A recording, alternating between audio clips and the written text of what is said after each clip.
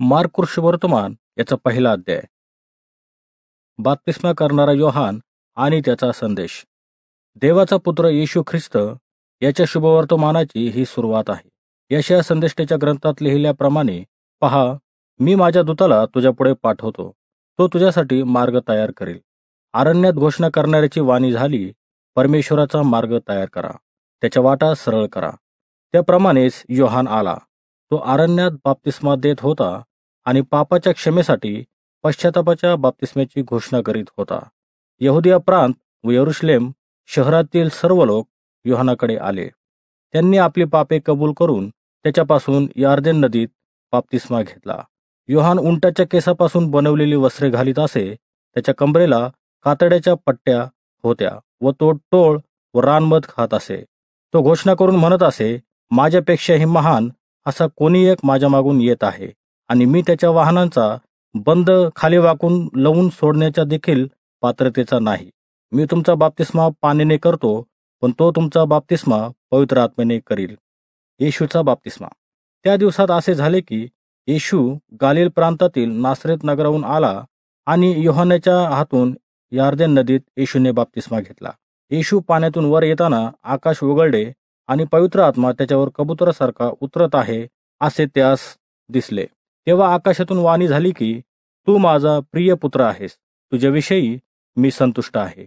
येशूची परीक्षा. मग आत्म्याने लगेचच त्यास आरण्यात घालवले. सैतान त्याची परीक्षा पाहत असता तो आरण्यात चाळीस दिवस राहिला.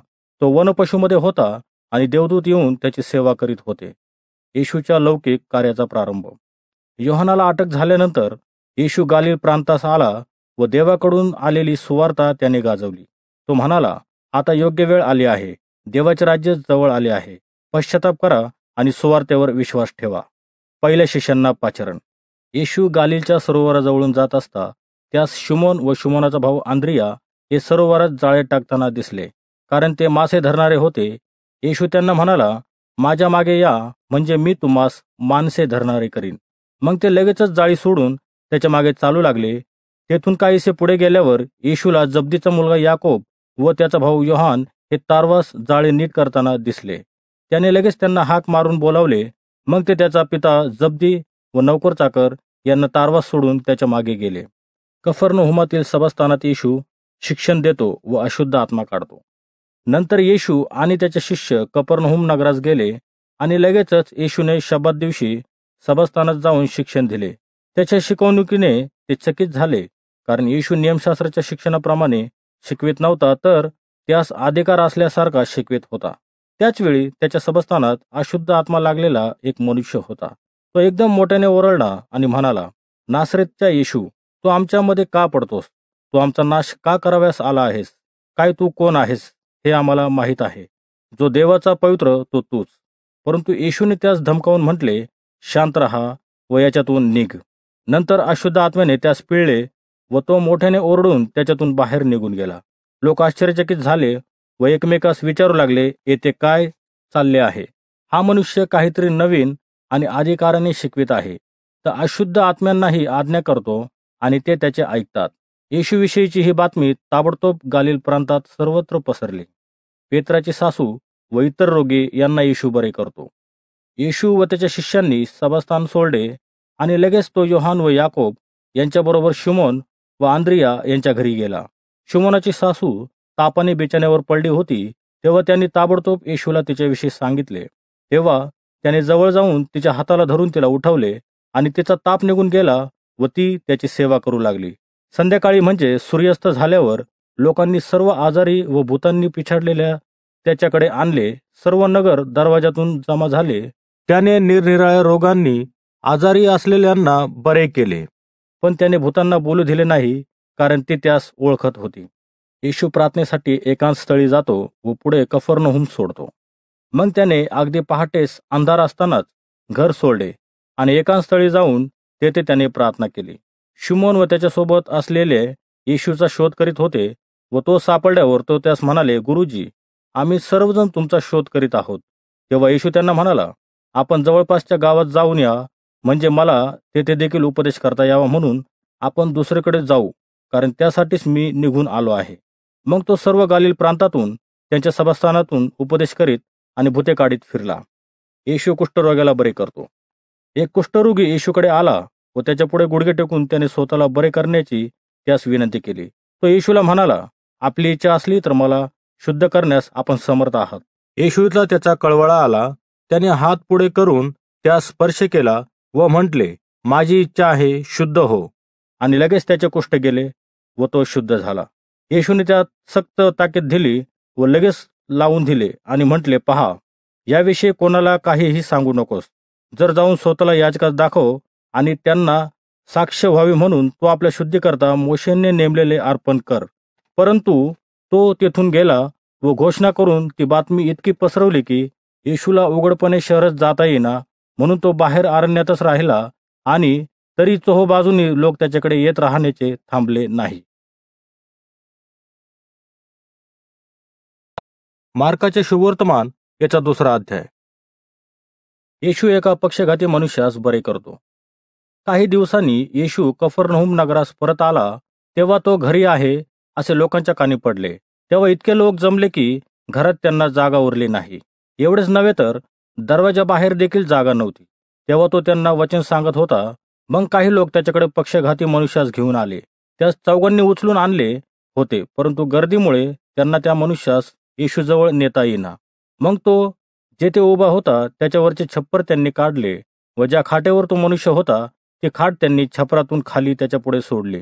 त्यांचा विश्वास पाहून येशू पक्षघाती मनुष्यास म्हणाला मुला तुझ्या पापाची क्षमा झाली आहे. तेथे काही नियमशास्त्रज्ञांचे शिक्षण बसले होते. ते आपल्या मनात विचार करू लागले की हा मनुष्य असे का बोलत आहे? हा दुर्लभ भाषण करीत आहे. देवाशिवाय कोण पापाची क्षमा करू शकतो? आणि तेव्हा ते आपल्या अंतकरणात असे विचार करीत आहेत येशूने त्याच क्षणी आपल्या आत्म्यास ओळखून त्यांना म्हटले तुम्ही आपल्या मनात असे विचार का करता? तुझ्या पापाची क्षमा झाली आहे. असे या पक्षघाती मनुष्यास म्हणणे किंवा उठ आपला बाज उचलून घेऊन चाल असे म्हणणे यातील कोणते सोपे आहे? परंतु मनुष्याच्या पुत्राला पृथ्वीवर पापाची क्षमा करण्याचा अधिकार आहे हे त्यांना समजावे म्हणून तो पक्षघाती मनुष्यास म्हणाला मी तुला सांगतो उठ तुझी खाट उचलून घेऊन आपल्या घरी जा. मग तो लगेच उठला त्याने आपली खाट उचलून घेऊन सर्वांच्या देखत तो घराच्या बाहेर निघाला. यामुळे ते सर्व आश्चर्यचकित झाले व देवाचे गौरव करत म्हणाले आम्ही असे कधीच पाहिले नव्हते. लेवीला पाचरण. येशू पुन्हा सरोवराकडे गेला व पुष्कळ लोक त्याच्याजवळ आले आणि त्याने त्यांना शिक्षण दिले. नंतर तो जात असता त्याने आल्फीचा मुलगा लेवी यास जकात नाक्यावर बसलेले पाहिले. मग येशू लेवीला म्हणाला माझ्या मागे ये. तेव्हा लेवी उठला आणि येशूच्या मागे गेला. नंतर असे झाले की येशू लेवीच्या घरी जेवायला बसला. तेथे बरेच जकातदार व पापी लोकही येशू व त्याच्या शिष्याबरोबर जेवत होते कारण ते पुष्कळ असून त्यांच्या मागे आले होते. तेव्हा काही नियमशास्त्राचे शिक्षक जे परुषी होते त्यांनी येशूला पापी व जकातदारासोबत जेवताना पाहिले ते त्याच्या शिष्यांना म्हणाले हा पापी व जकातदार यांच्याबरोबर का जेवतोय? हे ऐकून येशू त्यांना म्हणाला निरोग्यांना वैद्याची गरज नसते तर रोग्यांना असते.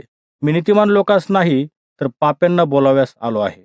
उपवासाविषयीचा प्रश्न. जेव्हा योहानाचे शिष्य व परुषी उपवास करीत होते तेव्हा काही जण येशूकडे आले आणि त्यास म्हणाले योहानाचे शिष्य व परुषी लोक उपवास करतात परंतु तुझे शिष्य उपवास का करीत नाहीत? येशू त्यांना म्हणाला वरडाबरोबर वर आहे तोपर्यंत त्यांनी उपवास करणे त्यांना शक्य आहे काय? वर बरोबर आहे तोपर्यंत त्यांना उपवास करणे शक्य नाही. परंतु असे दिवस येतील की वर त्यांच्यापासून घेतला जाईल आणि नंतर ते त्या दिवसात उपवास करतील. कोणी नव्या कापडाचा तुकडा जुन्या कापडाला जोडीत नाही. जर तो असे करतो तर नवे कापड जुन्या कापडाला फाडील व छिद्र मोठे होईल. तसेच नवा द्राक्षरस कोणीही द्राक्षरसाच्या जुन्या कातडी पिशवीत घालीत नाही. जर तो असे करतो तर द्राक्षरस कातडी पिशवीला फोडील आणि द्राक्षरस नासेल व द्राक्षरसाची कातडी पिशवी याचा नाश होईल. म्हणून नवा द्राक्षरस नव्या कातडी पिशवीतच घालतात. नंतर असे झाले की येशू शब्दात दिवशी शेतातून जात असता त्याचे शिष्य कंसे मोडू लागले. तेव्हा परुषी येशूला म्हणाले पहा शब्दात दिवशी जे करू नये ते हे का करतात? येशू त्यांना म्हणाला जेव्हा दावीज व त्याच्याबरोबर असलेल्या लोकांस भूक लागली व त्यांना खाव्यास हवे होते तेव्हा त्यांनी काय केले? याविषयी तुम्ही वाचले नाही काय? अभ्याथार महायाजक असताना तो देवाच्या भवनात कसा गेला आणि देवाला समर्पित केलेल्या भाकरी ज्या नियमशास्त्राप्रमाणे याजकाशिवाय कोणी खाऊ नयेत त्या कशा खाल्ल्या व जे त्याच्याबरोबर होते त्यांनाही कशा दिल्या? याविषयी तुम्ही वाचले नाही काय? तो त्यास सांगत होता शब्दात मनुष्यासाठी करण्यात आला मनुष्य शब्दासाठी करण्यात आला नाही. म्हणून मनुष्याचा पुत्र शब्दाचा देखील प्रभू आहे. मार्काचे शुभवर्तमान याचा तिसरा अध्याय. शब्दात दिवशी हात वाळलेल्या मनुष्यास बरे करणे. मग येशू पुन्हा एका सभास्थानात गेला. तेथे वाळलेल्या हाताचा एक मनुष्य होता. येशूवर आरोप करण्यासाठी कारण मिळावे म्हणून तो शब्दात दिवशी त्या मनुष्यास बरे करतो की काय हे पाहण्यासाठी ते त्याच्यावर बारकाईने नजर ठेवून होते. येशू वाळलेल्या हाताच्या मनुष्यास म्हणाला उठ आणि लोकांच्या समोर उभा राहा. नंतर तो त्यांना म्हणाला शब्दात दिवशी चांगले करणे किंवा वाईट करणे जीव वाचवणे किंवा जीव मारणे यातील कोणते योग्य आहे? पण ते गप्प राहिले. मग त्याने त्याच्या मनाच्या कठीणपणामुळे खिन्न होऊन त्या सर्वांकडे रागाने पाहिले व त्या मनुष्यास म्हणाला तुझा हात लांब कर. त्याने हात लांब केला आणि तो बरा झाला. नंतर परशु निघून गेले आणि लगेच त्यास जीवे मारणे कसे शक्य होईल याविषयी हेरोदियाबरोबर येशू विरुद्ध कट करीत बसले. येशू पुष्कळ रोग्यास बरे करतो. मग येशू आपल्या शिष्यांसह सरोवराकडे निघून गेला आणि गालिल व यहुदिया प्रांतातून मोठा लक्ष समुदाय त्याच्या मागोमाग निघाला. येरुश्लेम शहर इदोम प्रांत यार्देनी नदीच्या पलीकडच्या प्रदेशातून सौर व सिदोन शहराच्या आसपासच्या प्रदेशातून मोठा समुदाय जी मोठमोठी कामे तो करत होता त्याविषयी ऐकून त्याच्याकडे आला. मग गर्दीमुळे चेंगरून जाऊ नये म्हणून त्याने आपल्या शिष्यांना एक होडी तयार कराव्यास सांगितली कारण त्याने अनेक लोकांस बरे केले होते म्हणून ज्यांना रोग होते ते स्पर्श करण्यासाठी त्याच्या अंगावर पडत होते. जेव्हा अशुद्ध आत्मे येशूला पाहत तेव्हा ते त्याच्यासमोर खाली पडून मोठ्याने ओरडत की तू देवाचा पुत्र आहेस पण तो त्यांना सक्त ताकीद देत होता की मला प्रगट करू नका. बारा प्रेषितांची निवड. मग येशू डोंगरावर चढून गेला व त्यास जे शिष्य हवे होते त्यांना त्याने स्वतःकडे बोलावले. आणि ते त्याच्याकडे आले तेव्हा त्याने बारा जणांची नेमणूक केली. त्यांना त्याने प्रेषित हे नाव दिले. त्याने त्याची ह्यासाठी निवड केली की त्यांनी त्याच्यासोबत असावे व त्यांना दुसऱ्या ठिकाणी उपदेश करण्यासाठी त्यास पाठवता यावे व त्यांना भूते काढण्याचा अधिकार असावा. मग येशूने बारा जणांची निवड केली व जो शुमन त्यास पेत्र हे नाव दिले जब्दीचा मुलगा याकोब व याकोबाचा भाऊ योहान त्यांना त्याने बॉर नेगेस ज्याचा अर्थ गर्जनेचे पुत्र असा होतो हे नाव दिले. आंद्रिया फिलिप बर्तलमय मत्तय थोमा आल्फीचा मुलगा याकोब तद्य शिमोन कनानी आणि यहुदा इस्कोरियत ज्याने नंतर येशूचा विश्वासघात केला. शैतानाच्या सहाय्याने येशू आपली कामे करतो ह्या आरोपास त्याने दिलेले उत्तर. मग येशू घरी आला आणि पुन्हा इतके लोक जमले की त्यांना जेवता सुद्धा येईना. त्यांच्या कुटुंबातील लोकांनी ह्याविषयी ऐकले तेव्हा ते त्यास धराव्यास निघाले कारण त्यास वेळ लागले असे त्यांचे म्हणणे होते.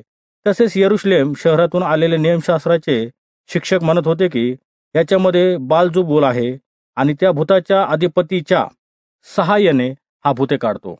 मग येशूने त्यास त्यांना आपणाजवळ बोलावून दाखलेच्या सहाय्याने त्यांना सांगू लागला सैतान सैतानाला कसा काढील? आपापसात फूट पडलेले राज्य टिकू शकत नाही. आपापसात फूट पडलेले घरही टिकू शकत नाही. जर सैतान स्वतःलाच विरोध करू लागला आणि त्याच्यातच फूट पडली तर तो टिकू शकणार नाही. तर त्याचा शेवट होईल. खरोखर कोणालाही बलवान मनुष्याच्या घरात शिरून त्याची मालमत्ता लुटता येणार नाही. प्रथम त्या बलवान मनुष्यास बांधले पाहिजे मगच त्याचे घर लुटता येईल. मी तुम्हाला खरे सांगतो की लोकांच्या पापाची व त्यांनी केलेल्या देवाच्या निंदेची त्यांना क्षमा होईल. पण जो कोणी पवित्र आत्म्याची निंदा करील त्याची कधीही क्षमा होणार नाही. आणि तो मनुष्य सार्वकालिक पापाचा दोषी आहे. येशू असे म्हणाला कारण त्याच्यामध्ये अशुद्ध आत्मा आहे असे ते त्याच्याविषयी म्हणत होते. येशूचे वास्तविक नातेवाईक.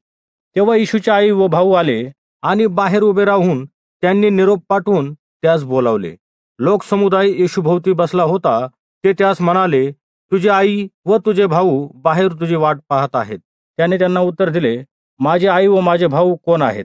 मग तो आपल्या सभोवती बसलेल्या लोकांसभोवती पाहून म्हणाला पहा माझी आई व माझे भाऊ जे कोणी देवाच्या इच्छेप्रमाणे वागतात तेच माझे भाऊ माझी बहीण व माझी आई.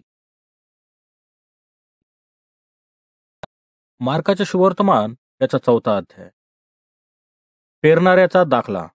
पुन्हा येशू सरोवराच्या किनाऱ्यावर शिक्षण देऊ लागला तेव्हा त्याच्याजवळ फार मोठा समुदाय जमला म्हणून तो सरोवरातील एका तारवात जाऊन बसला आणि सर्व लोक सरोवर किनारी जमिनीवर होते.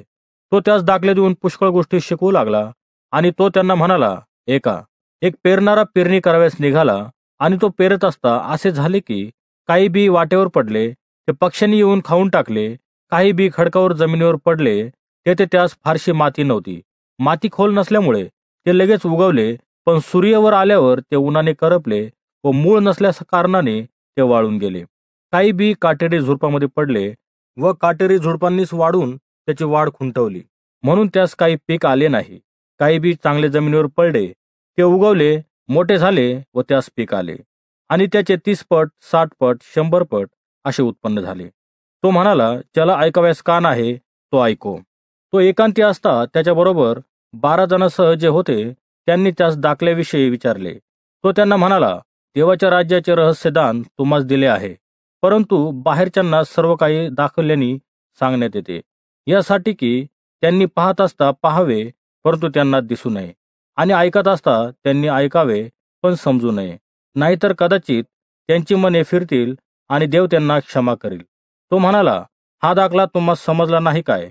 तर मग इतर बाकीचे दाखले तुम्हाला कसे समजतील? पेरणारा वचन पेरतो वाटेवर वचन पेरले जाते. तेथेच लोक हे आहेत. की त्यांनी ऐकल्याबरोबर सैतान येऊन त्यांच्यातले पेरलेले वचन हिरावून घेतो. तसेच खडकाळ जमिनीत पेरलेले हे आहेत की वचन ऐकतात ते आनंदाने ग्रहण करतात तथापि त्यांच्यामध्ये मूळ नसल्या कारणाने ते थोडा काळच टिकून धरतात. मग वचनामध्ये संकट आले किंवा छळ झाला म्हणजे ते लगेच अडखळतात. काटेरी झुडपामध्ये पेरलेले हे आहेत की ते वचन ऐकून घेतात परंतु संसाराची चिंता संपत्तीचा मोह व इतर गोष्टीचा लोभ ही त्यांच्यामध्ये शिरून वचनाची वाढ खुंटवतात आणि ते निष्फळ होते. चांगल्या जमिनीवर पेरलेले हे आहेत की ते वचन ऐकून त्याचा स्वीकार करतात पण कोणी तीस पट कोणी साठ पट कोणी शंभर पट असे पीक देतात. दिवा व बी याचे दाखले. आणखी येशू म्हणाला दिवा मापाखाली किंवा पलंगाखाली ठेवण्यासाठी आणतात काय? दिवटणीवर ठेवतात म्हणून आणतात ना? प्रत्येक गोष्ट जी झाकलेली आहे ती उघड होईल आणि प्रत्येक गुप्त गोष्ट जाहीर होईल. ज्याला कान आहे तो ऐको. तो त्यास म्हणाला तुम्ही जे काय ऐकता त्याविषयी सावध राहा. ज्या मापाने तुम्ही मापून द्याल त्याच मापाने तुम्हास मापून देण्यात येईल. कारण तुम्हाजवळ आहे ते आणखी दिले जाईल व ज्या कोणाजवळ नाही त्याच्यापासून जे आहे तेही काढून घेतले जाईल. आणखी तो म्हणाला देवाचे राज्य असे आहे की जणू काय एखादा मनुष्य जमिनीत बी टाकतो रात्री झोपी जातो व दिवसा उठतो आणि ते बी रुजते व वाढते हे कसे होते? हे त्यास कळत नाही. जमीन आपोआप पीक देते पहिल्याने अंकुर मग कणीस मग कणसात भरलेली दाना पीक तयार होते तेव्हा तो त्यास लगेच वेळा लावतो कारण कापणीची वेळ आलेली असते. आणखी तो म्हणाला आपण देवाच्या राज्याची तुलना कशासोबत करू शकतो? किंवा कोणत्या दाखल्यात तो मांडावे? ते मोहरीच्या दाण्यासारखे आहे जो जमिनीत पेरते वेळी पृथ्वीवरील सर्व दाण्यात सर्वात लहान असला तरी तो पेरल्यावर उगवून सर्व झाडात मोठा होतो त्यास मोठ्या फांद्या येतात आणि आकाशातील पाखरे त्याच्यावर घरटे बांधू शकतात. असले पुष्कळ दाखले देऊन जसे त्याच्याने ऐकवले तसे तो त्यांना वचन सांगत असे. आणि दाखल्या वाचून तो त्यांच्याबरोबर बोलत नसे. परंतु एकांती तो आपल्या शिष्यांना सर्व काही समजावून सांगत असे. येशू वादळ शांत करतो. त्या दिवशी संध्याकाळ झाल्यावर येशू त्याच्या शिष्यास म्हणाला आपण पलीकडे जाऊया. मग त्यांनी लोकसमुदायानं सोडले आणि तो तारवास होता तसेच ते त्यास येऊ घेऊन गेले. त्यांच्याबरोबर इतरही दुसरे तारू होते. तेव्हा वाऱ्याने मोठे वादळ सुटले आणि लाटा तारवास अशा आदळू लागले की ते पाण्याने भरू लागले. परंतु येशू मागच्या बाजूस वरामावर उशास घेऊन झोपी. झोपी गेला होता. ते त्यास जागे करून म्हणाले गुरुजी आपण बुडत आहोत. तरी आपणास काळजी वाटत नाही काय? मग तो उठला आणि त्याने वाऱ्याला धमकावले आणि समुद्राला म्हणाला शांत हो स्तब्ध रहा. मग वारा थांबला व तेथे मोठी शांतता पसरली. तो त्यांना म्हणाला तुम्ही का भेता? तुमच्यामध्ये अजूनही विश्वास कसा काय नाही? परंतु ते अतिशय घाबरले आणि एकमेकास म्हणाले हा आहे तरी कोण? वारा आणि समुद्र देखील याचे ऐकतात. असा हा आहे तरी कोण? मार्काचे शुभवर्तमान याचा पाचवा अध्याय. गर्सेकर भूतग्रस्ताला येशू बरे करतो. मग येशू आणि त्याचे शिष्य सरोवराच्या पलीकडे गरसेकराच्या प्रदेशात आले. तो तारवास उतरताच अशुद्ध आत्मा लागलेला एक मनुष्य कबरातून निघून त्यास भेटला. तो कबरामध्ये राहत असे व त्यास साखळदंडाने आणखी बांधून ठेवले असता कोणाला शक्य नव्हते. कारण त्यास पुष्कळ वेळा बेड्यांनी व साखळदंडांनी बांधले असता त्याने साखळदंड तोडून टाकले होते व बेड्यांचे तुकडे तुकडे केले होते. आणि त्यास ताब्यात ठेवण्याचे सामर्थ्य कोणालाही नव्हते. तो नेहमी रात्रंदिवस कबरामध्ये व डोंगरामध्ये राहून ओरडत असे व टोकदार दगडांनी आपले अंग ठेचून घेत असे. येशूला दुरून पाहताच तो धावत आला व त्याच्या पाया पडला. आणि मोठ्याने ओरडून म्हणाला हे येशू परतपर देवाच्या पुत्रा तू मध्ये का पडतोस? मी तुला देवाची शपथ घालतो मला छळू नकोस. कारण येशू त्यास म्हणत होता अरे अशुद्ध आत्म्या या मनुष्यातून निघ. त्याने त्यास विचारले तुझे नाव काय? त्याने उत्तर दिले माझे नाव सैन्य कारण आम्ही पुष्कळ आहोत आणि आम्हास या देशातून घालवू नकोस. अशी तो त्यास आग्रहाने विनंती करत होता. तेथे डोंगराच्या कडेला डुकराचा एक मोठा कळप चरत होता. तेव्हा अशुद्ध आत्म्याने त्यास विनंती केली की आम्ही त्या डुकरात शिरावे म्हणून त्याच्याकडे आम्हास लावून दे. मग त्याने त्यास परवानगी दिली. तेव्हा ते अशुद्ध आत्मे निघून डुकरात शिरले आणि तो सुमारे दोन हजार डुकरांचा कळप तडक जाऊन कड्यावरून सरोवरात पडला व पाण्यात गुदमरून मरण पावला. डुकरे राखणारे पळाले व त्यांनी गावात शेतमळ्यात हे वर्तमान सांगितले तेव्हा काय झाले हे पाहण्यास लोक आले. ते येशूजवळ आल्यावर तो भूतग्रस्त म्हणजे ज्या सैन्य होते तो कपडे घातलेला आणि शुद्धीवर आलेला त्यांच्या दृष्टीस पडला आणि त्यांना भीती वाटली. ज्यांनी ते पाहिले होते त्यांनी भूतग्रस्ताला काय झाले ते व डुकराविषयीची हकीकत इतरांना सांगितली. तेव्हा आपण आमच्या प्रांतातून निघून जावे असे ते त्यास विनवू लागले. मग तो तारवास जात असता पूर्वी भूतग्रस्त असलेला मनुष्य त्यास विनंती करू लागला की मलाही तुमच्यासोबत घ्या. परंतु त्याने त्यास आपल्यासोबत येऊ दिले नाही. तर त्यास म्हटले तू आपल्या घरी सोकयाकडे जा आणि प्रभूने तुझ्यासाठी केवढी मोठी कामे केली व तुझ्यावर कशी दया केली हे त्यांना सांग. तेव्हा तो निघाला आणि येशूने जी मोठी कामे त्याच्यासाठी केली होती ती दकापलीस येथे जाहीर करू लागला तेव्हा सर्वांस आश्चर्य वाटले. याईराची कन्या. मग येशू तारवास बसून पलीकडे परत गेल्यावर त्याच्याजवळ लोकांचा मोठा समुदाय जमला आणि तो सरोवराजवळ होता तेव्हा याईर नावाचा सभास्थानाचा एक अधिकारी तेथे आला व त्यास पाहून त्याच्या पाया पडला. त्याने आग्रहाने त्यास विनंती केली की माझी लहान मुलगी मराव्यास टेकली आहे. तिने बरे होऊ जगावे म्हणून आपण येऊन तिच्यावर हात ठेवा. मग तो त्याच्याबरोबर निघाला. तेव्हा पुष्कळ लोक त्याच्या मागून चालत होते आणि त्याच्या भोवती गर्दी होती. येशू एका स्त्रीचा रक्तस्राव नाहीसा करतो. आणि तेथे रक्तस्रावाने बरा बारा वर्षे पिडलेली एक स्त्री होती. तिने बऱ्याच वैद्यांच्या हातून पुष्कळ हाल सोसून आपल्याजवळ जे काही होते ते सर्व खर्च केले होते तरी तिला काही गुण न येता तिचे दुखणे अधिकच झाले होते. येशूविषयीच्या गोष्टी ऐकून ती त्या गर्दीत शिरली आणि त्याच्यामागे येऊन त्याच्या वस्त्राला स्पर्श केला.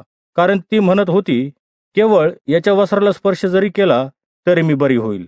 तेव्हा लागलेच तिचा रक्तस्राव थांबला आणि आपण त्या पिढेपासून बरे झालो आहोत. असा तिला शरीरात अनुभव आला. आपणामधून शक्ती निघाली आहे हे येशूने आपल्या ठाई लगेच ओळखले आणि गर्दीमध्ये वळून म्हटले माझ्या वस्त्रांना कोणी स्पर्श केला त्याचे शिष्य त्यास म्हणाले लोक समुदाय आपण भौतिक गर्दी करत आहे हे आपण पाहत आहात तरी आपण म्हणता मला कोणी स्पर्श केला मग जिने हे केले होते तिला पाहण्यास त्याने सगळीकडे बघितले तेव्हा ती स्त्री आपल्या बाबतीत जे काही घडले ते जाणून भीत व कापत त्याच्याकडे आली व त्याच्या पाया पडून तिने त्यास सर्व काही सत्य सांगितले. तो तिला म्हणाला मुली तुझ्या विश्वासाने तुला बरे केले आहे. शांतीने जा आणि तुझ्या पिढेपासून मुक्त हो. येशू याईराच्या मुलीला जिवंत करतो. येशू हे बोलत आहे इतक्यात सबस्थानाच्या अधिकाऱ्याच्या घराकडे काही माणसे येऊन त्यास म्हणाली आपली मुलगी मरण पावली. आता गुरुजींना त्रास कशाला देता? परंतु येशू त्याच्या बोलण्याकडे लक्ष न देता सबस्थानाच्या अधिकाऱ्याला म्हणाला भिवू नकोस. विश्वास मात्र धर. त्याने पेत्र याकोब व याकोबाचा भाऊ योहान याच्याशिवाय कोणालाही आपल्याबरोबर येऊ दिले नाही. मग ते सभास्थानाच्या अधिकाऱ्याच्या घराजवळ आले तेव्हा रडत असलेल्या व फारच आकांत करीत असलेल्या लोकांची गडबड त्यांनी पाहिली. तो आत जाऊन त्यास म्हणाला तुम्ही कशाला रडता व गडबड करता? मुलं मरण पावली नाही झोपी गेली आहे. तेव्हा ते त्यास हसू लागले पण त्याने त्या सर्वांना बाहेर काढून दिले आणि मुलीचे आई वडील व आपल्याबरोबरचे शिष्य यांना घेऊन मुलगी होती तेथे तो आत गेला. नंतर मुलीच्या हातात धरून तो म्हणाला तलिथा कुम याचा अर्थ मुली मी तुला सांगतो उठ. आणि लगेच ती मुलगी उठून चालू लागली. ती बारा वर्षाची होती. ते अत्यंत आश्चर्यचकित झाले. हे कोणाला कळता कामा नये अशी त्यांना निक्षून आज्ञा केली आणि तिला खाण्यास द्या असे सांगितले. मार्काचे शुभवर्तमान याचा सहावा अध्याय. येशूचा नासरेतात आव्हेर. नंतर येशू तेथून नासोरी या त्याच्या नगरात आला आणि त्याचे शिष्य त्याच्यामागे आले. शब्दात दिवशी तो सबस्थानात शिकवित होता. पुष्कळ लोकांनी त्याची शिकवण ऐकली तेव्हा ते थक्क झाले. ते म्हणाले या मनुष्यात ही शिकवण कोठून आली? त्यास देवाचे कोणते ज्ञान दिले आहे? आणि त्याच्या हातून हे एवढे चमत्कार होतात? जो सुतार मरियेचा मुलगा आणि याकोब योसे यहुदा व शिमोन यांचा जो भाऊ तोच हा आहे. आणि ह्या आपल्याबरोबर आहेत या त्याच्या बहिणी नव्हेत काय? त्याचा स्वीकार करण्याविषयी त्यांना प्रश्न पडला. मग येशू त्यांना म्हणाला संदेष्टांचा सन्मान होत नाही असे नाही. मात्र त्याच्या नगरात त्याच्या नातेवाईकात आणि त्याच्या कुटुंबात त्याचा सन्मान होत नसतो. थोड्याशाच रोग्यावर हात ठेवून त्याने त्यास बरे केले शिवाय दुसरे कोणतेही महत्कृत्य त्यास तेथे करता आले नाही. त्यांच्या अविश्वासामुळे त्यास आश्चर्य वाटले. नंतर येशू शिक्षण देत जवळपासच्या गावोगावी फिरला. बारा प्रेषितांना कामगिरीवर पाठविणे. नंतर येशूने बारा शिष्यांना आपल्याकडे बोलावून घेतले व त्यांना जोडीजोडीने पाठवू. जोडीजोडीने पाठवू लागला त्याने त्यास अशुद्ध आत्म्याचा अधिकार दिला आणि त्यास आज्ञा केली की काठीशिवाय प्रवाशासाठी दुसरे काही घेऊ नका. भाकरी झोळी किंवा कमर कशात पैसे घेऊ नका. तरी चपला घालून चाला दोन अंगरके घालू नका. आणखी तो त्यास म्हणाला ज्या कुठल्याही घरात तुम्ही जाल तेथे तुम्ही ते शहर थोडीपर्यंत राहा. आणि ज्या ठिकाणी तुमचे स्वागत होणार नाही किंवा तुमचे ऐकणार नाहीत तिथून निघताना त्यांना साक्ष व्हावे म्हणून आपल्या तळपायाची धूळ तेथेच झाडून टाका. मग शिष्य तिथून निघाले आणि लोकांनी पश्चाताप करावा म्हणून त्यांनी घोषणा केली. त्यांनी पुष्कळ भूते काढली आणि अनेक रोग्यांना तैलभंग करून त्यांना बरे केले. बाप्तिस्मा करणाऱ्या योहानाचा वध. हेरोद राजाने येशूविषयी ऐकले कारण येशूचे नाव सगळीकडे गाजले होते. काही लोक म्हणत होते बाप्तिस्मा करणारा योहान मरण पावलेल्यातून उठला आहे. म्हणून त्याच्यासाठी चमत्कार करण्याचे सामर्थ्य आहे. इतर लोक म्हणत येशू एलिया आहे. तर काही जण म्हणत हा संदेष्टा फार पूर्वीच्या संदेष्टांपैकी एक आहे. परंतु हेरोदाने जेव्हा ऐकले तेव्हा तो म्हणाला ज्या योहानाचा मी शिरच्छेद केला तोच उठला आहे. हेरोदाने स्वतः योहानाला पकडून तुरुंगात टाकण्याची आज्ञा दिली होती कारण त्याचा भाऊ फिलिप्प याची पत्नी हेरोदिया हिच्याबरोबर हेरोदाने लग्न केले होते व योहान हेरोदाला सांगत असे की तू आपल्या भावाची पत्नी ठेवावीस हे नियमशास्त्रानुसार नाही. त्याकरिता हेरोदियेने योहानाविरुद्ध मनात आडी धरली ती त्यास ठार मारण्याची संधी पाहत होती. परंतु ती त्यास मारू शकली नाही कारण योहान नीतिमान आणि पवित्र मनुष्य आहे. हे जाणून हेरोद त्याचे भय धरीत असे व त्याचे संरक्षण करी. हेरोद योहानाचे बोलणे ऐके तेव्हा फार गोंधळून जाई. तरी तो त्याचे म्हणणे आनंदाने ऐकून घेत असे. मग एका दिवशी अशी संधी आली की हेरोदिया काहीतरी करू शकेली. आपल्या वाढदिवशी हेरोदाने आपले महत्त्वाचे अधिकारी सैन्यातील सरदार व गालिल प्रांतातील प्रमुख लोकांस मेजवानी दिली. हेरोदियाच्या मुलीने स्वतः आत जाऊन नाच करून हेरोद व आलेल्या पाहुण्यांना आनंदित केले. तेव्हा हेरोद राजा मुलीला म्हणाला तुला जे पाहिजे ते माग म्हणजे मी ते तुला देईन. तो शपथ वाहून तिला म्हणाला माझ्या अर्ध्या राज्यापर्यंत जे काही तू मागशील ते मी तुला देईन. ती बाहेर गेली आणि तिच्या आईला म्हणाली मी काय मागू? आई म्हणाली बाप्तिस्मा करणाऱ्या योहानाचे शिर. आणि ती मुलगी लगेच आत राजाकडे गेली आणि म्हणाली मला तुम्ही या क्षणी बाप्तिस्मा करणाऱ्या योहानाचे शिर तपकात घालून द्यावे अशी माझी इच्छा आहे. राजाला फार वाईट वाटले परंतु त्याच्या शपतेमुळे व भोजनात आलेल्या पाहुण्यामुळे त्यास तिला नकार द्यावा असे वाटले नाही. तेव्हा राजाने लगेच वध करणाऱ्यास पाठवले व योहानाचे शिर घेऊन येण्याची आज्ञा केली. मग तो गेला व तुरुंगात जाऊन त्याने योहानाचे शिर कापले. ते शिर तबकात घालून मुलीला दिले व मुलीने ते आईला दिले. हे ऐकल्यावर योहानाचे शिष्य आले आणि त्यांनी त्याचे शरीर उचलले आणि कबरेत नेऊन ठेवले. बारा प्रेषितांचे परत येणे. ह्यानंतर प्रेषित येशूभोवती जमले आणि त्यांनी जे केले आणि शिकविले ते सर्व त्यास सांगितले. नंतर तो त्यांना म्हणाला तुम्ही रानात एकांती चाला आणि थोडा विसावा घ्या कारण तेथे पुष्कळ लोक जात येत होते व त्यांना जेवायलाही सवड मिळत नव्हती. तेव्हा ते सर्वजण तारवात बसून रानात गेले परंतु पुष्कळ लोकांनी त्यांना जाताना पाहिले व ते कोण आहेत हे त्यांना कळावे तेव्हा सर्व गावातील लोक पायीच धावत निघाले व त्याच्या येण्या अगोदर ते तेथे पोहोचले. पाच हजारांना भोजन. येशू किनाऱ्याला आल्यावर त्याने मोठा लोकसमुदाय पाहिला ते मेंढपाळ नसलेल्या मेंढरासारखे होते. म्हणून त्यास त्याचा कळवळा आला. म्हणून तो त्यांना बऱ्याच गोष्टीविषयी शिक्षण देऊ लागला. दिवस बराच उतरल्यावर त्याचे शिष्य त्याच्याकडे येऊन म्हणाले ही अरण्यातली जागा आहे व आता दिवस फार उरला आहे. लोकांस जाऊ द्या म्हणजे ते भोवतालच्या शेतात व खेड्यात जाऊन त्यांच्यासाठी काहीतरी खावायला विकत आणतील. परंतु त्याने त्यास उत्तर दिले तुम्हीच त्यांना काहीतरी खावयास द्या. ते त्यास म्हणाले आम्ही जाऊन त्यांना खाण्यासाठी दोनशे चांदीच्या नाण्याच्या भाकरी विकत आणाव्या? काय? तो त्यांना म्हणाला जा आणि पहा की तुमच्याजवळ किती भाकरी आहेत. पाहिल्यावर ते म्हणाले आमच्याजवळ पाच भाकरी आणि दोन मासे आहेत. येशूने सर्व लोका साधने केली की गटागटाने हिरवळीवर बसावे. तेव्हा ते शंभर शंभर व पन्नास पन्नास अशा पंक्ती पंक्तीने बसले. येशूने पाच भाकरी आणि दोन मासे घेऊन वर स्वर्ग स्वर्गाकडे पाहून आशीर्वाद दिला. आणि भाकरी मोलड्या व त्या लोकास वाढण्यासाठी आपल्या शिष्याजवळ दिल्या आणि दोन मासे सुद्धा वाटून दिले. मग ते सर्व जेवण करून तृप्त झाले आणि त्यांनी उरलेल्या तुकड्याच्या बारा टोपल्या भरून घेतल्या आणि माशाचेही तुकडे नेले. भाकरी खाणारे पाच हजार पुरुष होते. येशू पाण्यावर चालतो.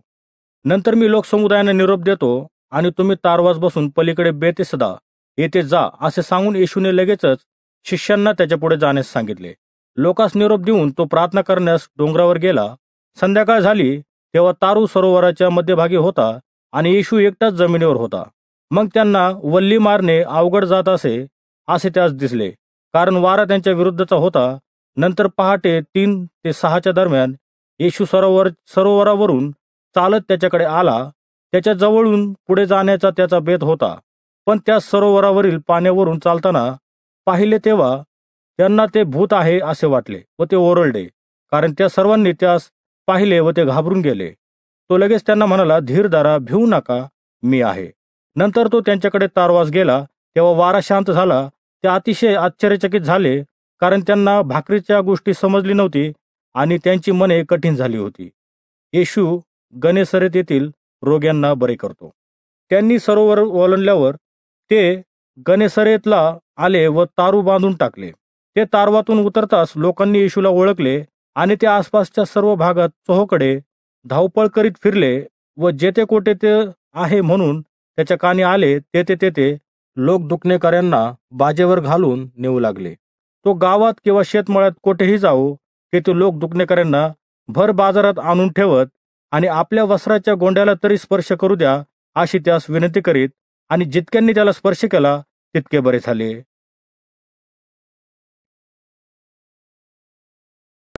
मार्काचे शुभवर्तमान याचा सातवा अध्याय. परुषांचा वरपांगी सोहळेपणा. काही परुषी आणि नियमशास्त्राचे शिक्षक जे यरुशलेम शहरातून आले होते ते येशूभोवती जमले आणि त्यांनी त्याच्या काही शिष्यांना अशुद्ध म्हणजे विधिग्रंथ हात न धुता जेवताना पाहिले. कारण परुषी व इतर सर्व यहुदी वाडवडिलांचे नियम पाळून विशिष्ट रीतीने नीट हात धुल्याशिवाय जेवत नाहीत. बाजारातून आणलेली कुठलीही वस्तू धुतल्याशिवाय ते खात नाहीत. त्यांच्या पूर्वजांचे इतर अनेक चालीरीती ते पाळतात आणि प्याले घागरे तांब्याची भांडे धुणे असे दुसरे इतर नियमही पाळतात. मग परुषांनी व नियमशास्त्राचे शिक्षक यांनी येशूला विचारले तुझे शिष्य वाडवडिलांच्या नियमाप्रमाणे का जगत नाहीत? हात न धुता का जेवतात? येशू त्यांना म्हणाला यशयाने जेव्हा तुम्हा ढोंगी लोकांविषयी भविष्य केले तेव्हा त्यांचे बरोबर होते. यशया लिहितो हे लोक ओटाने माझा सन्मान करतात. परंतु त्यांचे अंतकरणे माझ्यापासून दूर आहेत. ते व्यर्थ माझी उपासना करीतात कारण ते लोकांस शास्त्र म्हणून जे शिकवतात ते मनुष्यांनी केलेले नियम असतात. तुम्ही देवाच्या आज्ञा त्याग केला असून आता तुम्ही मनुष्यांची परंपरा पाळत आहात. आणखी तो त्यांना म्हणाला तुम्ही आपल्या परंपरा पाळण्याकरता देवाची आज्ञा मोडण्यासाठी सोयीस्कर पद्धत शोधून काढली आहे. मोशेने सांगितले आहे की तू आपल्या आईवडिलांचा सन्मान कर आणि जो मनुष्य आपल्या आईवडिलाबद्दल किंवा आईबद्दल वाईट बोलतो त्यास ठार मारलेच पाहिजे. परंतु तुम्ही शिकविता एखादा मनुष्य आपल्या वडिलांना व आईला असे म्हणू शकतो की तुम्हास मदत करण्यासाठी माझ्याकडे थोडेफार आहे. परंतु तुम्हास मदत करण्यासाठी मी जे वापरणार नाही मी ते देवाचा अर्पण करण्याचे ठरवले आहे. तर तुम्ही त्यास त्याच्या वडिलांसाठी किंवा आईसाठी पुढे काहीच करू देत नाही. अशा प्रकारे तुम्ही आपला संप्रदाय चालू ठेवून देवाचे वचन रद्द करता आणि यासारख्या पुष्कळ गोष्टी करता. आंतरयामी भ्रष्टता. तेव्हा येशूने लोकसमुदायाला पुन्हा बोलावून म्हटले प्रत्येकाने माझे ऐका व हे समजून घ्या. बाहेरून मनुष्याच्या आत जाऊन त्यास अपवित्र करीत असे काही नाही. तर मनुष्याच्या आतून जे निघते तेच त्यास अपवित्र करते. ज्या कोणाला ऐकण्यास कान आहेत तो ऐको. लोकसमुदायाला सोडून येशू घरात गेला. तेव्हा शिष्यांनी त्यास या दाखल्याविषयी विचारले. तो त्यांना म्हणाला तुम्हाला देखील हे समजत नाही काय? जे बाहेरून मनुष्याच्या आत जाते ते त्यास अपवित्र करीत नाही. हे तुम्हास समजत नाही का? कारण ते त्याच्या अंतकरणात जात नाही तर त्याच्या पोटात जाते. नंतर ते विष्टेद्वारे शरीराबाहेर पडते असे सांगून सर्व प्रकारचे अन्न त्याने शुद्ध घोषित केले. आणखी तो म्हणाला जे मनुष्याच्या अंतकरणातून बाहेर पडते ते मनुष्यास अपवित्र करते.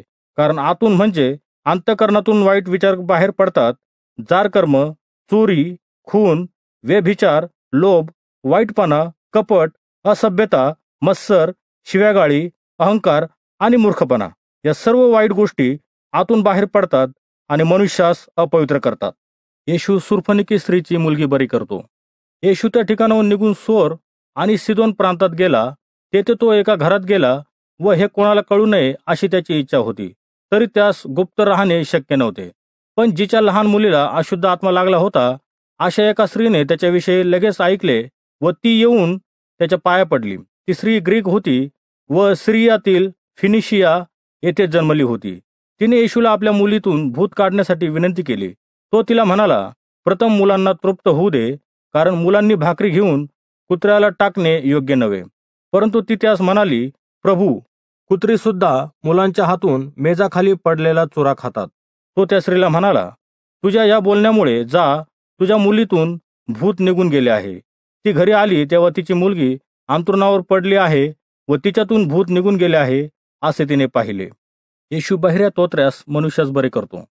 येशू सोर भोवतालच्या प्रदेशातून परतला आणि सिदोनाहून दकापलिसच्या वाटेने गालिलच्या सरोवराकडे आला. तेथे काही लोकांनी एका बहिऱ्या तोत्र्या मनुष्यास येशूकडे आणले व आपण त्याच्यावर हात ठेवावा अशी विनंती केली. येशूने त्यास लोकापासून एका बाजूस घेऊन त्याच्या कानात आपली बोटे घातली व थुंकून त्याच्या जिबेला स्पर्श केला. त्याने स्वर्गाकडे पाहून उसासा टाकला व तो म्हणाला इफ्फाता म्हणजे मोकळा हो. आणि त्याच क्षणी त्याचे कान मोकळे झाले आणि जिबेचा बंद सुटला व त्यास बोलता येऊ लागले. तेव्हा हे कोणाला सांगू नका असे त्याने त्यात निक्षून सांगितले परंतु तो त्यांना जसजसे सांगत गेला तसतसे ते अधिकच जाहीर करत गेले. ते लोक फारच आश्चर्यचकित झाले व म्हणाले त्याने सर्व काही चांगले केले आहे तो बहिऱ्यांना ऐकण्यास आणि मुक्यांना बोलाव्यास लावतो. मार्क शिवर्तमान याचा आठवा अध्याय. चार हजारांना भोजन. त्या दिवसात पुन्हा लोकांचा मोठा समुदाय जमला व त्याच्याजवळ खावयास काही नव्हते. येशूने आपल्या शिष्यांना बोलावले आणि त्यांना म्हणाला मला या लोकांचा कळवळा येतो कारण आज तीन दिवस ते माझ्याबरोबर आहेत आणि त्यांच्याजवळ खावयास काही नाही. मी जर त्यांना उपाशी घरी पाठवले तर ते रस्त्यातच कासावीस होऊन पडतील आणि त्यांच्यातील काहीतरी दोरून आले आहेत. त्यांच्या शिष्यांनी उत्तर दिले येथे अरण्यात हे तृप्त होतील इतक्या भाकरी कोठून आणाव्यात? त्याने त्यांना विचारले तुमच्याजवळ किती भाकरी आहेत? ते म्हणाले सात. त्याने लोकांस जमिनीवर बसण्यास आज्ञा केली. त्याने सात भाकरी घेतल्या आभार मानले व त्या मोडल्या व आपल्या शिष्यांजवळ त्या वाढण्यास दिल्या आणि त्यांनी त्या लोकांस वाढल्या. त्यांच्याजवळ थोडे लहान मासे होते त्यास त्याने आशीर्वाद देऊन तेही वाढावयास सांगितले. ते जेवून तृप्त झाले व उरलेल्या तुकड्यांचा सात टोपल्या त्यांनी भरल्या. तेथे सुमारे चार हजार पुरुष होते. मग येशूने त्यांना घरी पाठवले आणि लगेच तो आपल्या शिष्यासह तारवात बसला व दलमुत्था प्रदेशात गेला. असमंजसपणाबद्दल शिष्यांचा निषेध. मग काही परीक्षे येऊन त्याच्याशी वाद घालू लागले. त्याची परीक्षा पाहावी म्हणून त्यांनी त्या स्वर्गातून चिन्ह मागितले. आपल्या आत्म्यास दीर्घ उसासा टाकून तो म्हणाला ही पिढी चिन्ह का मागते? मी तुम्हास खरे सांगतो की या पिढीला चिन्ह दिले जाणार नाही. नंतर तो त्यांना सोडून पुन्हा तारवास जाऊन बसला व सरोवराच्या पलीकडच्या बाजूस गेला.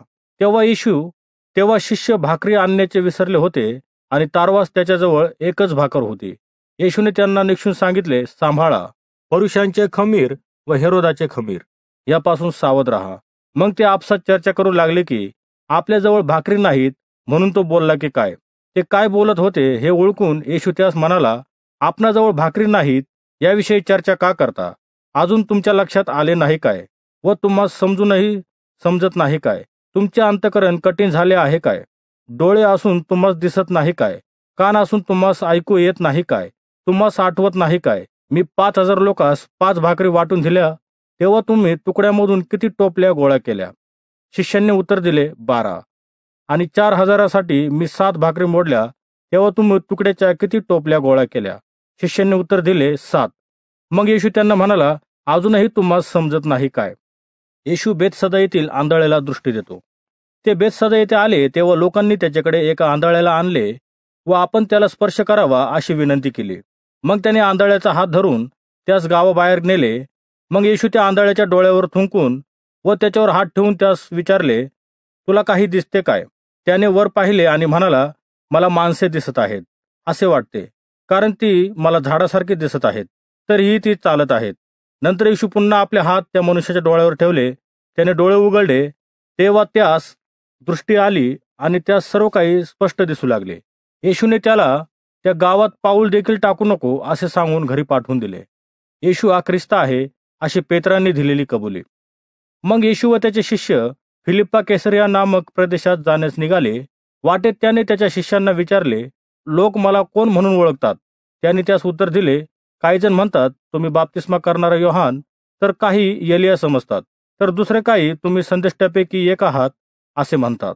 मग येशूने त्यांना विचारले तुम्हास मी कोण आहे असे वाटते? पेट्राने उत्तर दिले तू ख्रिस्त आहेस. येशू शिष्यांना म्हणाला मी कोण आहे हे कोणालाही सांगू नका. स्वतःचे मरण व पुनरुत्थान याविषयीचे येशूचे भविष्य.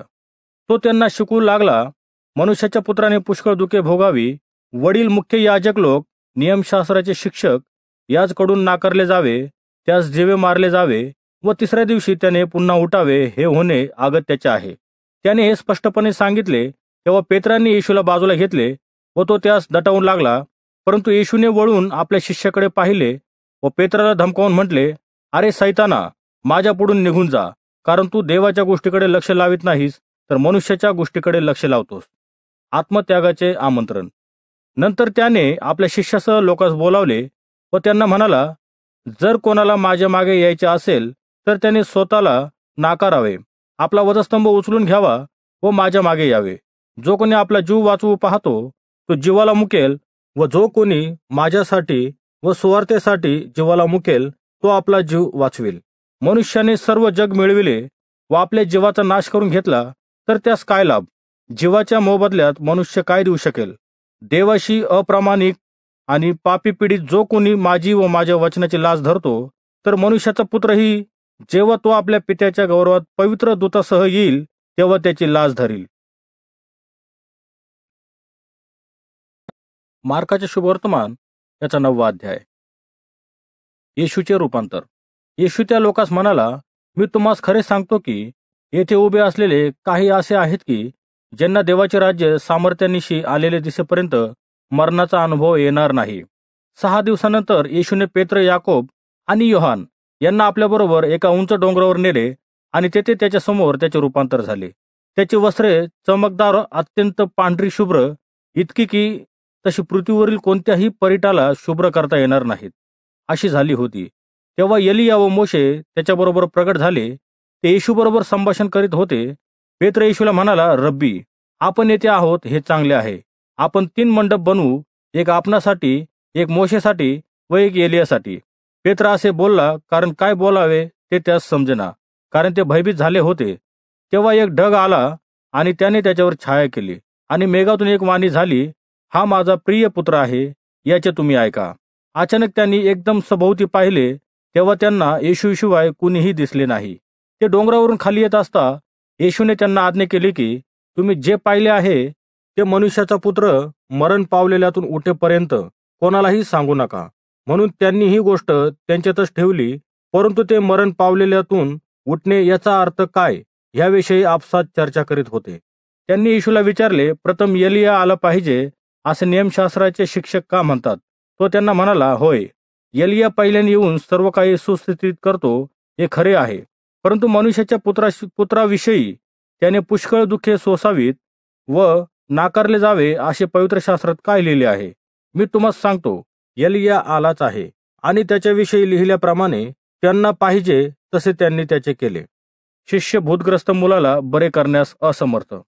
नंतर ते शिष्याजवळ आले तेव्हा त्यांना त्याच्या भोवती मोठा लोकसमुदाय आहे आणि नियमशास्त्राचे शिक्षक त्याच्याशी वाद करत आहेत असे त्यांना दिसले. सर्व लोक येशूला पाहताच आश्चर्यचकित झाले आणि ते त्याचे स्वागत करण्यासाठी धावले. येशूने शिष्यांना विचारले तुम्ही त्याच्याशी कसला वाद घालीत आहात? तेव्हा समुदायातील एकाने त्यास उत्तर दिले गुरुजी मी माझ्या मुलाला आपणाकडे आणले त्यास दुष्ट आत्मा लागला असून तो बोलू शकत नाही. आणि तेव्हा तो त्यास धरतो ते तेव्हा त्यास खाली आपट आपडतो व तोंडाला फेस आणतो. दात चावतो व नंतर ताट होतो. मी आपल्या शिष्यांना त्यास काढण्यास सांगितले परंतु ते काढू शकले नाहीत. येशू भूतग्रस्त मुलाला बरे करतो. येशू त्यांना म्हणाला हे विश्वासहीन पिढी मी कोटवर तुमच्या बरोबर असणार. मी तुमच्या बरोबर कोटवर सहन करू. मुलाला इकडे आणा. नंतर त्यांनी मुलाला येशूकडे आणले आणि तेव्हा त्या दुष्ट आत्म्याने येशूकडे पाहिले. तेव्हा लगेच त्या मुलाला पिळून टाकले आणि तो जमिनीवर पडून तोंडाला फेस आणून लोळू लागला. नंतर येशूने त्याच्या वडिलांना विचारले किती काळ हा असा आहे? वडिलांनी उत्तर दिले बाळपणापासून हा असा आहे. पुष्कळदा ठार मा करण्यासाठी त्याने त्यास अग्नीत किंवा पाण्यात टाकले. जर आपल्या हातून काही होणे शक्य असेल तर आम्हावर दया करा व आम्हास मदत करा. येशू त्यास म्हणाला शक्य असेल तर असे का म्हणतोस? विश्वास ठेवणाऱ्याला सर्व काही शक्य आहे. तेव्हा लागलेच मुलाचे वडील मोठ्याने ओरडून म्हणाले मी विश्वास करतो माझा अविश्वास घालवून टाका.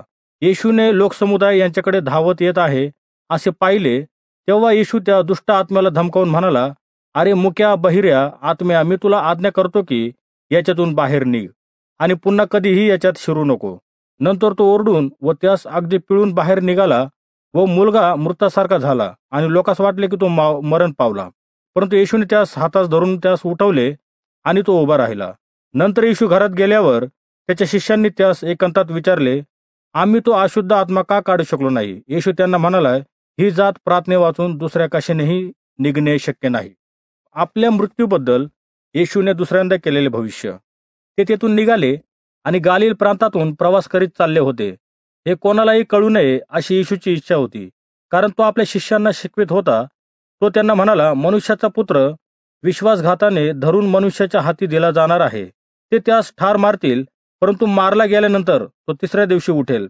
पण या बोलण्याचा अर्थ त्यांना समजला नाही आणि त्याविषयी त्यास विचारण्यात ते भीत होते. नम्रतेविषयी धडा. पुढे ते कफरनुहमास आले. येशू घरात असता त्याने त्यांना विचारले वाटेत तुम्ही कशाविषयी चर्चा करीत होता? परंतु ते गप्प राहिले कारण वाटेत त्यांनी सर्वात मोठा कोण याविषयी चर्चा चालली होती.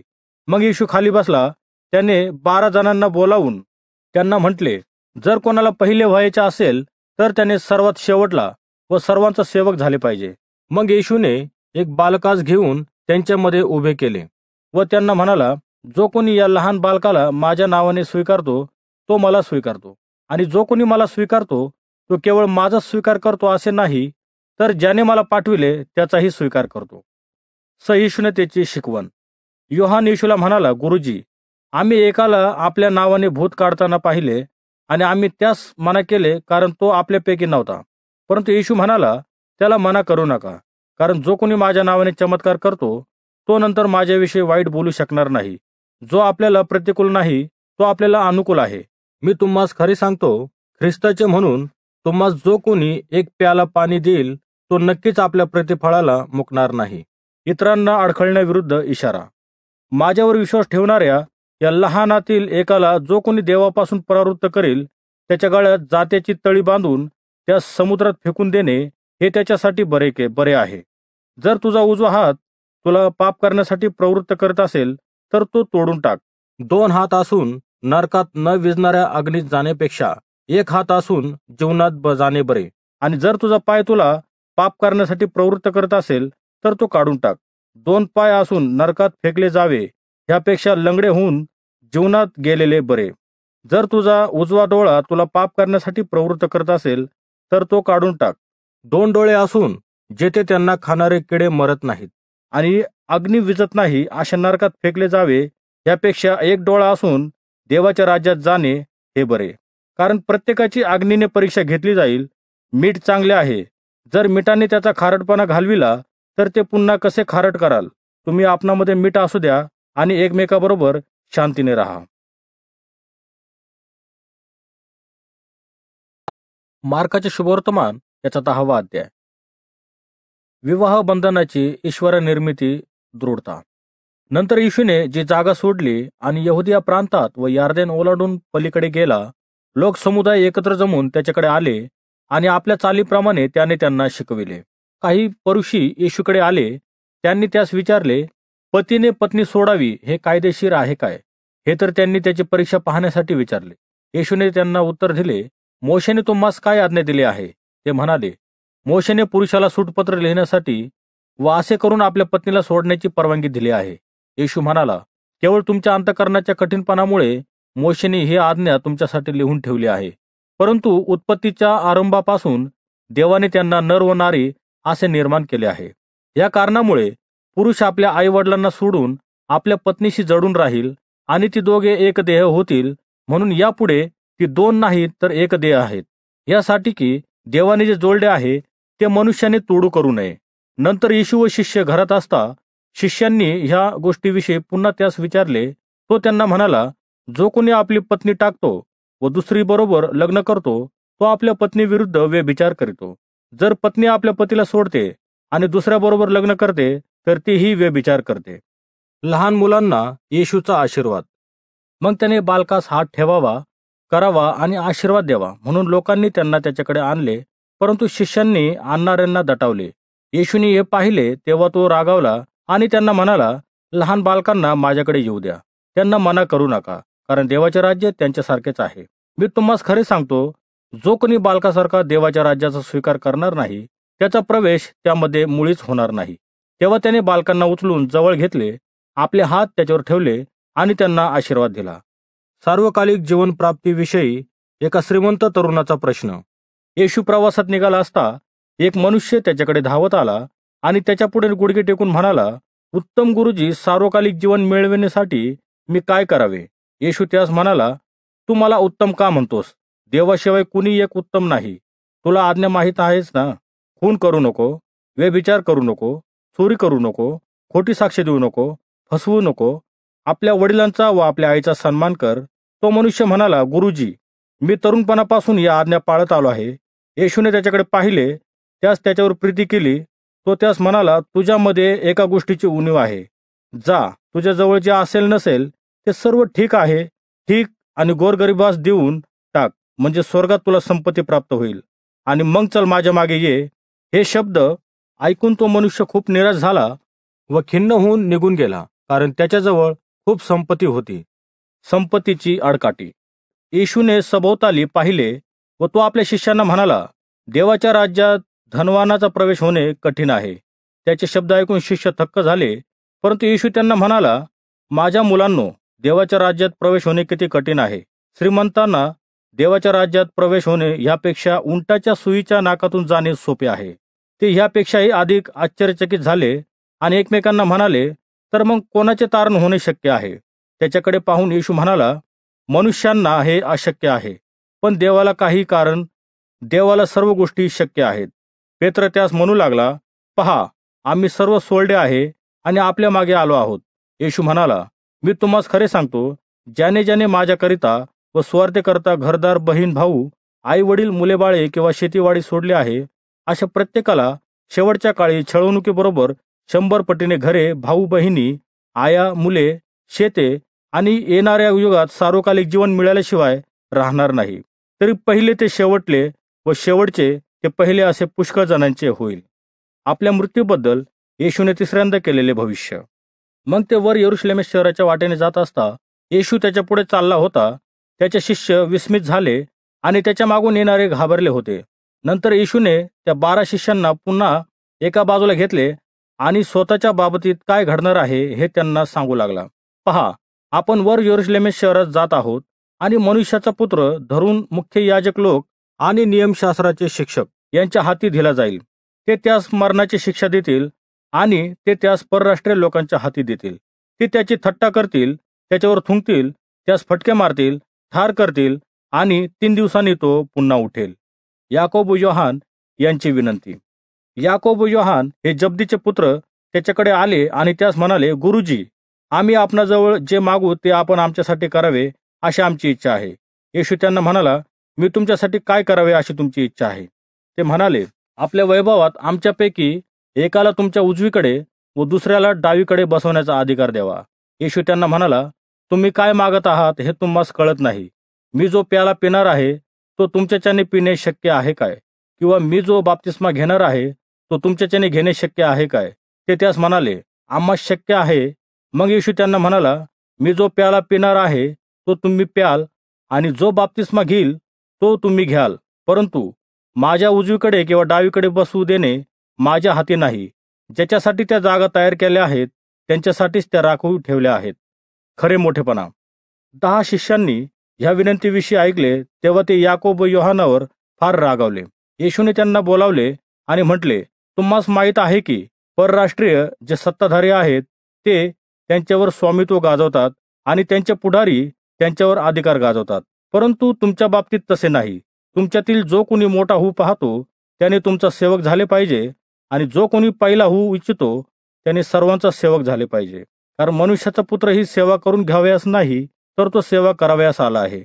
पुष्कळांच्या खंडणीकरिता आपला जीव देण्यासाठी आला आहे. आंधळ्या बारतिमायाला दृष्टीदान. मग ते येरिओ शहरात आले येशू आपले शिष्य व लोकसमुदायासह यरिहो सोडून जात असता तिमयाचा मुलगा बर्तिमय हा एक आंधळा भिकारी रस्त्याच्या कडेला बसला होता. तेव्हा त्यांनी ऐकले की नासरेतकर येशू जात आहे. तेव्हा तो मोठ्याने ओरडून म्हणू लागला येशू दाविदाचे पुत्र माझ्यावर दया करा.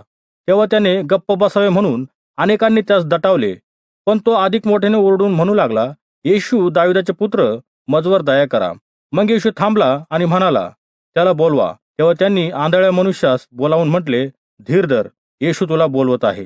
त्या आंधळ्याने आपला झगा टाकला उडी मारली व तो येशूकडे आला. येशू त्यास म्हणाला मी तुझ्यासाठी काय करावे अशी तुझी इच्छा आहे. आंधळा मनुष्य त्यास म्हणाला रब्बी मला पुन्हा दृष्टी प्राप्ती व्हावी. मग येशू त्यास म्हणाला जा तुझ्या विश्वासाने तुला बरे केले आहे.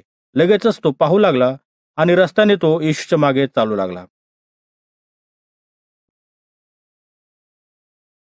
मार्काचे शुभवर्तमान याचा अकरावा अध्याय. यरुशलेम शहरात येशूचा जयोत्सवाने प्रवेश. जेव्हा ते यरुशलेम शहराजवळ जैतुनाच्या डोंगराजवळ बेथफगे व बेथानी गावाजवळ आले तेव्हा येशूने आपल्या दोन शिष्यास असे सांगून पाठवले की समोरच्या गावात जा गावात जाताच. ज्याच्यावर कोणी बसले नाही असे शिंगरू बांधलेले आढळेल ते सोडा व येथे आणा. आणि जर कोणी तुम्हाला विचारले तुम्ही हे का घेऊन जात आहात? तर तुम्ही असे म्हणा प्रभूला याची गरज आहे व तो ते लगेच परत तेथे पाठविल. मग ते निघाले आणि त्यांना रस्त्यावर दाराशी एक शिंगरू बांधलेले आढळले. मग त्यांनी ते सोडले. तेथे उभे असलेल्या लोकांपैकी काही जण त्यांना म्हणाले हे शिंगरू सोडून तुम्ही काय करीत आहात? त्यांनी येशू त्यांना काय म्हणाला ते त्यांना सांगितले. तेव्हा त्या लोकांनी त्यास ते शिंगरू नेऊ दिले. त्यांनी ते शिंगरू येशूकडे आणले. त्यांनी आपले वस्त्रे त्याच्यावर पांघरली व येशू त्यावर बसला. पुष्कळ लोकांनी आपले झगे रस्त्यावर पसरले आणि इतरांनी शेतातून तोडलेल्या डहाळ्या पसरवल्या. पुढे चालणारे व मागून येणारे घोषणा देऊ लागले.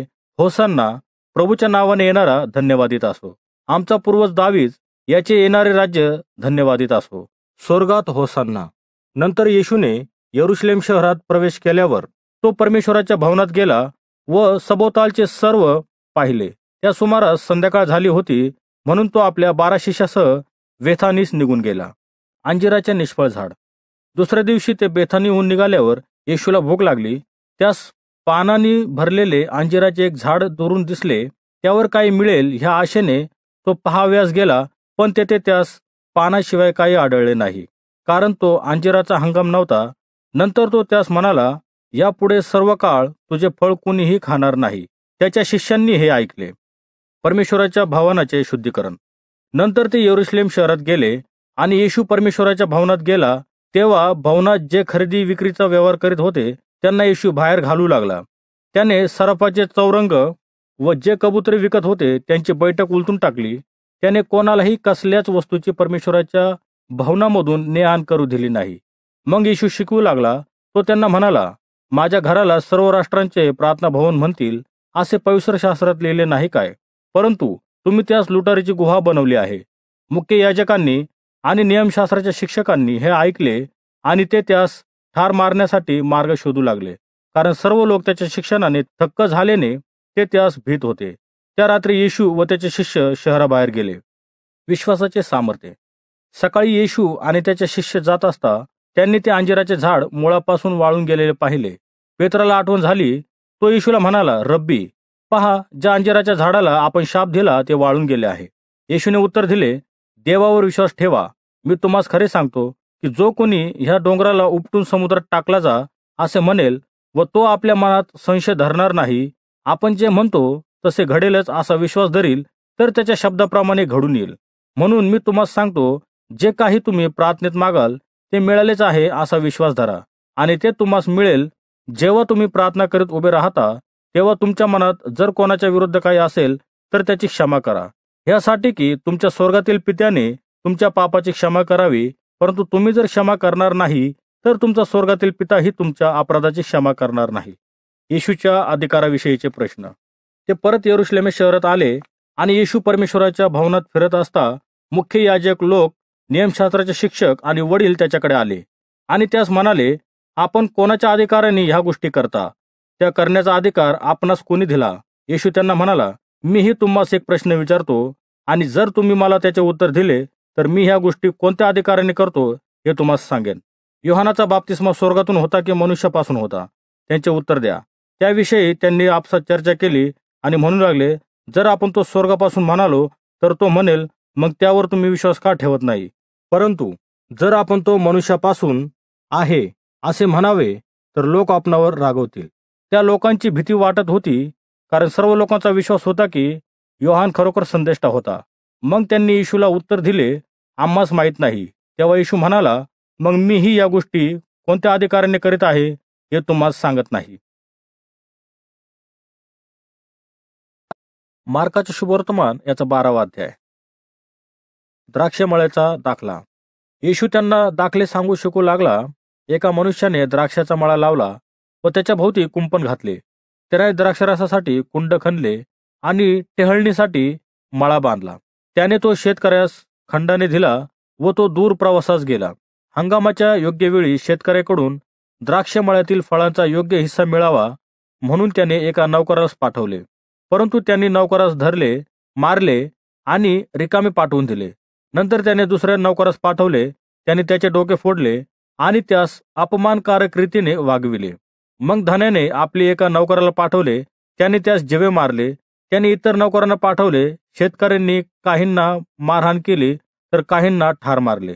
धन्याजवळ पाठवण्यासाठी आता फक्त त्याचा प्रिय मुलगा उरला होता तो म्हणाला खात्रीने ते माझ्या मुलाला मान देतील तो त्याचा आवडता मुलगा होता. म्हणून शेवटी त्याने त्यास त्या शेतकऱ्याकडे पाठवले.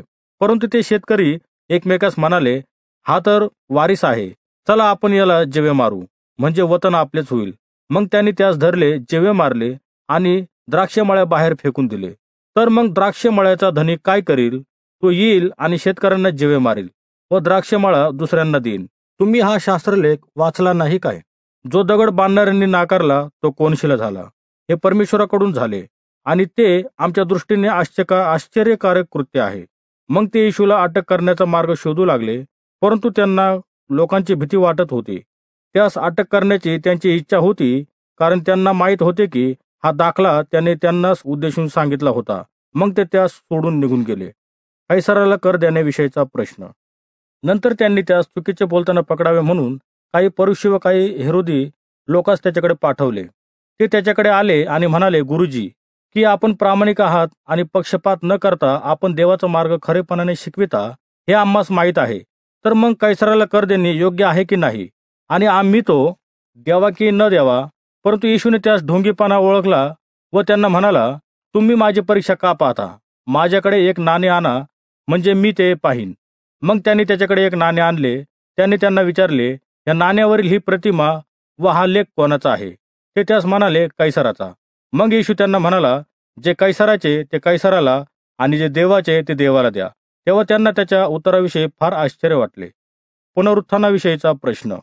नंतर ते पुनरुत्थान नाही असे मानणारे काही सदुकी त्याच्याकडे आले.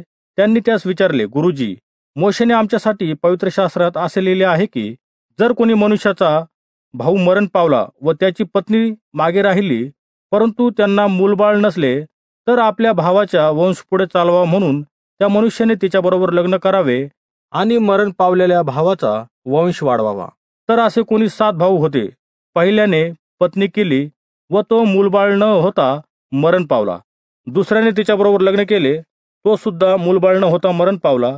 तिसऱ्याने तसेच केले त्या सात भावापैकी एकालाही त्या स्त्रीपासून मूलबाळ झाले नाही. शेवटी ती स्त्री ही मरण पावली. सातही भावांनी तिच्याबरोबर लग्न केले तर पुनरुत्थानाच्या वेळी जेव्हा लोक मरण पावलेल्यातून उठतील तेव्हा ती कोणाची पत्नी असेल? कारण सातही जणांनी तिच्याबरोबर लग्न केले होते.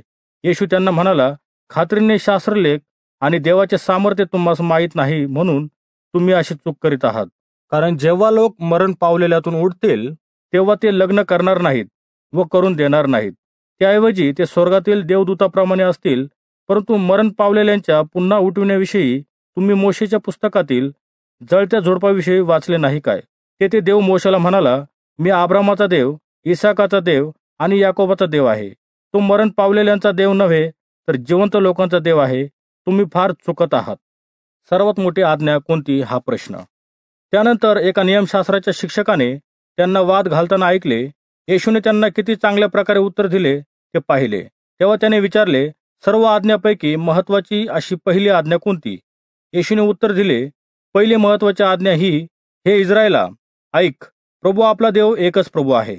तो आपल्या संपूर्ण अंतकरणाने संपूर्ण जीवाने संपूर्ण मनाने आणि संपूर्ण शक्तीने तुझा देव प्रभू याच्यावर प्रीती कर. दुसरी आज्ञा ही आहे जशी आपणावर तशी आपल्या शेजाऱ्यावर प्रीती कर. यापेक्षा दुसरी कोणतीही आज्ञा मोठी नाही. तो मनुष्य उतरला देव एकच आहे गुरुजी आणि त्याच्याशिवाय कोणीही नाही असे आपण म्हणता ते खरे बोलता.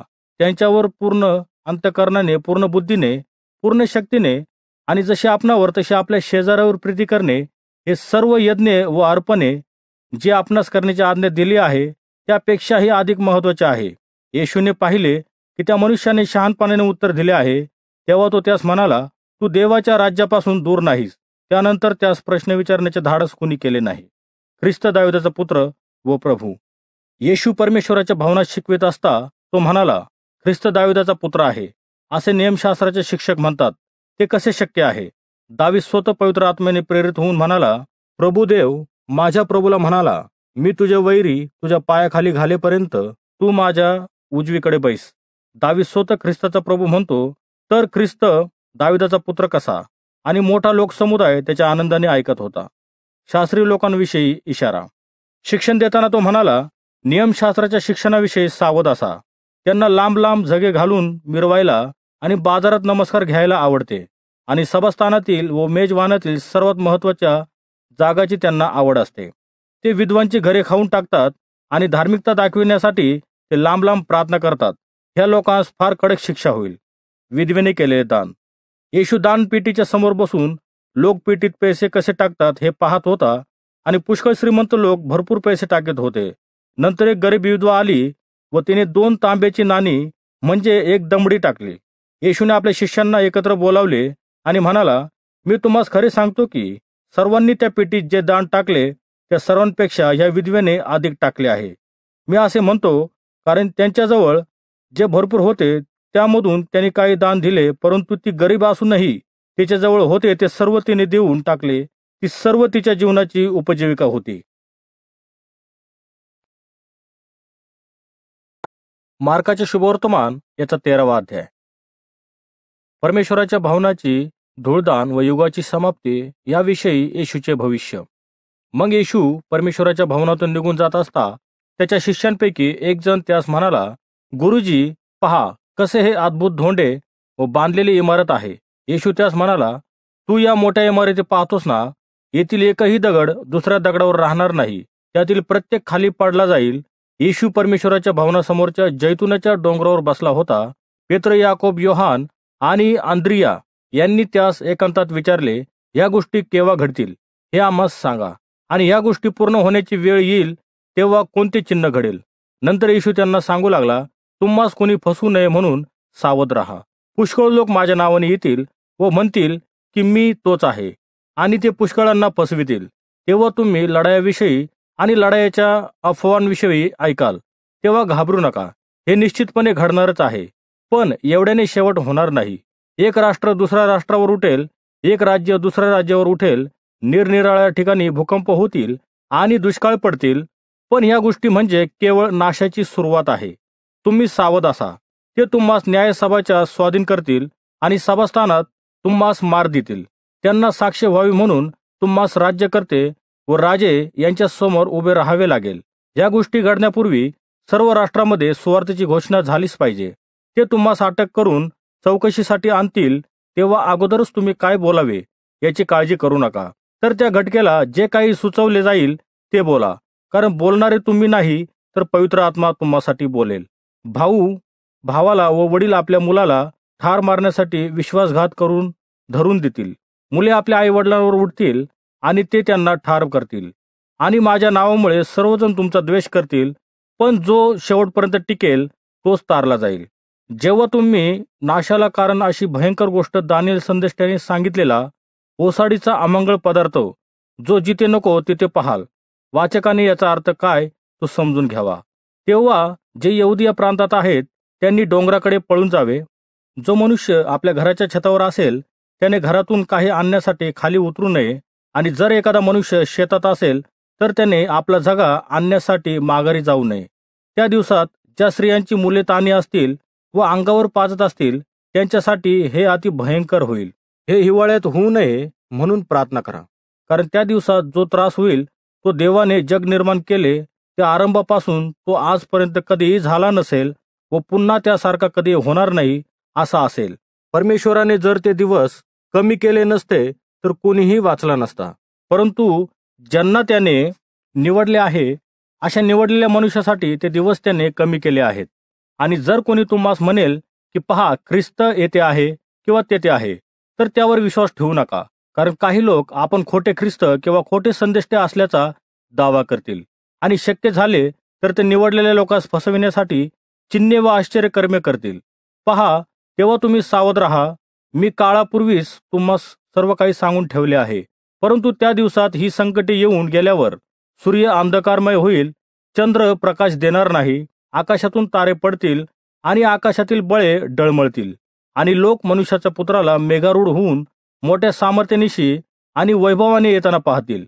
नंतर तो आपल्या देवदूतास पाठविल व चार दिशातून पृथ्वीच्या सीमेपासून ते आकाशाच्या सीमेपर्यंत त्यांच्या निवडलेल्या लोकांस एकत्र करेल. जागृतीची आवश्यकता. अंजिराच्या झाडापासून शिका.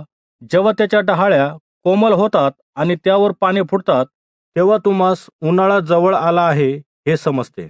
त्याचप्रमाणे तुम्ही जेव्हा ह्या गोष्टी घडताना पाहाल तेव्हा तुम्हाला समजेल की तो काळ अगदीच दाराशी येऊन टेपला आहे. मी तुम्हाला खरे सांगतो की या सर्व गोष्टी घडण्यापूर्वी ही पिढी खात्रीने नाहीशी होणार नाही. स्वर्ग आणि पृथ्वी नाहीशी होतील पण माझी वचने नाहीशी होणारच नाहीत. त्या दिवसाविषयी किंवा त्या घटकेविषयी कोणालाही ठाऊक नाही. स्वर्गातील देवदूतांनाही नाही व पुत्रासही नाही. फक्त पित्याला ठाऊक आहे. सावध असा. प्रार्थनेत जागृत असा. कारण ती वेळ केव्हा येईल हे तुम्हाला ठाऊक नाही. ती वेळ अशी आहे की एक मनुष्य प्रवासात निघते वेळी घर सोडतो आणि त्याच्या प्रत्येक नोकराला काम नेमून देतो तो पहारेकऱ्यास जागरूक करण्याची आज्ञा करतो तसे हे आहे. म्हणून तुम्ही जागे असा कारण घरधनी केव्हा येईल हे तुम्हाला ठाऊक नाही. तो संध्याकाळी मध्यरात्री पहाटे कोंबडा आरवण्यापूर्वी किंवा सकाळी केव्हा येईल हे तुम्हाला माहीत नाही. जर तो अचानक आला तर तुम्हाला झोपेत असताना पाहिल. मी तुम्हाला सांगतो ते सर्वांना सांगतो जागृत राहा. मार्काचे शुवर्तमान याचा चौदावा अध्याय. येशूला धरण्याविषयी अधिकाऱ्यांची मसलत. वलांडन व बेखमीर भाकरीच्या सणाच्या दोन दिवस अगोदर मुख्य याजक लोक आणि नियमशास्त्राचे शिक्षक कपटाने त्यास धरून जीवे मारण्याचा मार्ग शोधित होते. कारण ते म्हणत होते आपण ते सणात करू नये तर लोक दंगा करतील. बेथानी येथे येशूला करण्यात आलेला तेलाभंग. येशू बेथानी येथे शुमन कुष्ठरोगी याच्या घरी मेजावर जेवायला बसला.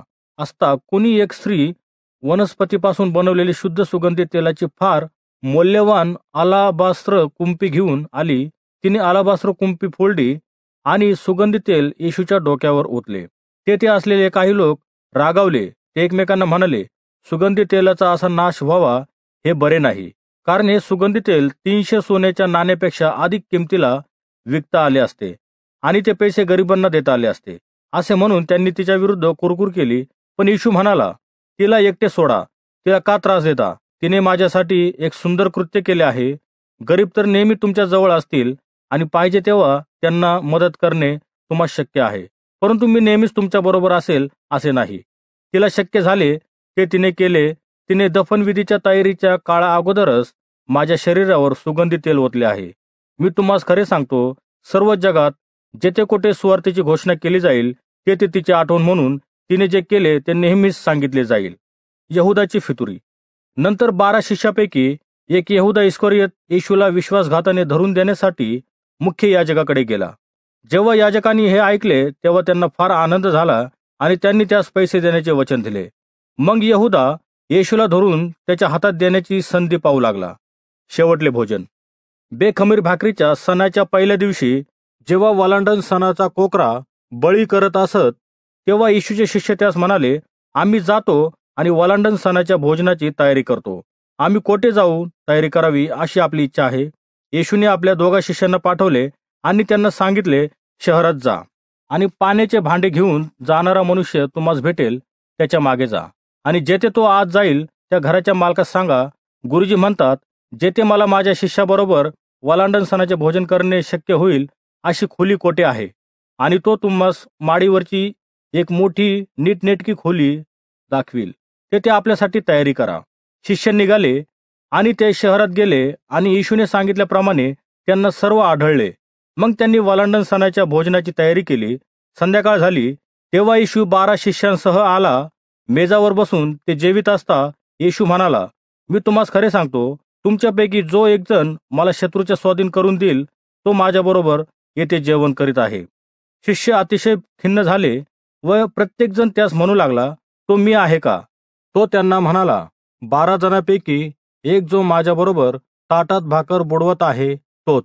त्यांच्याविषयी पवित्र शास्त्रात जसे लिहिले आहे तसा मनुष्याचा पुत्र जाईल परंतु ज्याच्याकडून मनुष्याचा पुत्र धरून दिला जाईल त्याची केवढी दुर्दशा होणार? तो जन्माला नसता तर ते त्याच्यासाठी बरे झाले असते. ते भोजन करीत असता येशू भाकर घेतली उपकार स्तुती केली ती मोडली आणि त्यांना दिली. तो म्हणाला घ्या हे माझे शरीर आहे. नंतर येशूने प्याला घेतला उपकार स्तुती केली तो प्याला त्यांना दिला आणि सर्व त्यातून प्याले. मग येशू म्हणाला हे माझे नव्या कराराचे रक्त आहे. पुष्काळासाठी ते ओतले जात आहे.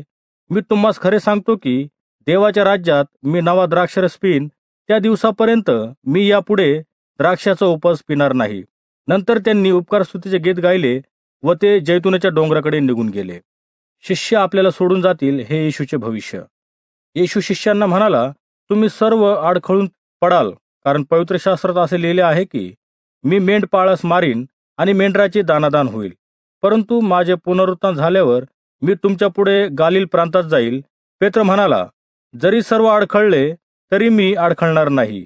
मग येशू त्यास म्हणाला मी तुला खरेच सांगतो आज रात्री दोनदा कोंबडा आरवण्यापूर्वी तू तीन वेळा मला नाकारशील तरीही पेत्र अधिक आवेशाने म्हणाला जरी मला आपणाबरोबर मरावे लागले तरी सुद्धा मी आपणाला नाकारणार नाही. आणि इतर सर्वजण तसेच म्हणाले. गेतशेमेने बागेत येशू.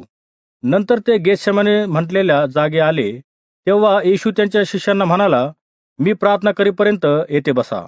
येशूने आपल्याबरोबर पेत्र याकोब योहान यांना घेतले. दुःख व वेदनांनी त्याचे मन भरून आले.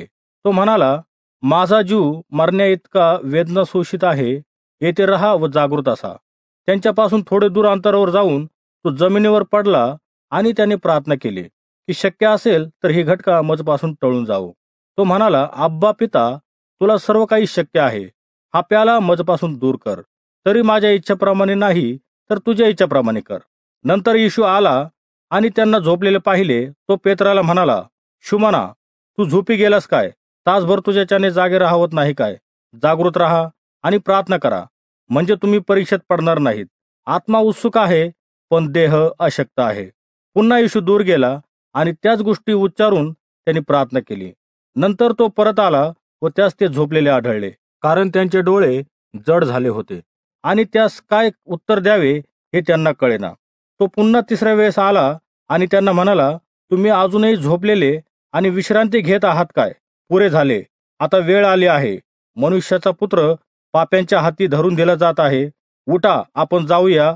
पहा मला धरून देणारा मनुष्य इकडे येत आहे. येशूला अटक. आणि येशू बोलत आहे तोपर्यंत बारा जणांपैकी एक यहुदा तेथे आला. त्याच्याबरोबर मुख्य याजक लोक व नियमशास्त्राचे शिक्षक आणि वडील यांनी पाठवलेले अनेक लोक तलवारी व सोटे घेऊन आले. घात करून देणाऱ्याने त्यांना अशी खून दिली होती की मी ज्या कोणाचे चुंबन घेईन तोच तो आहे. त्यास धरा आणि सांभाळून न्या. मग येऊदा आपल्याबरोबर तो येशूकडे गेला आणि म्हणाला रब्बी. आणि असे म्हणून येऊदाने येशूचे चुंबन घेतले. नंतर त्यांनी त्याच्यावर हात टाकले आणि त्यास अटक केली. तेथे जवळ उभ्या असलेल्यापैकी एकाने आपली तलवार काढली आणि महायाजकाच्या नौकरावर वार करून त्याचा कान कापून टाकला.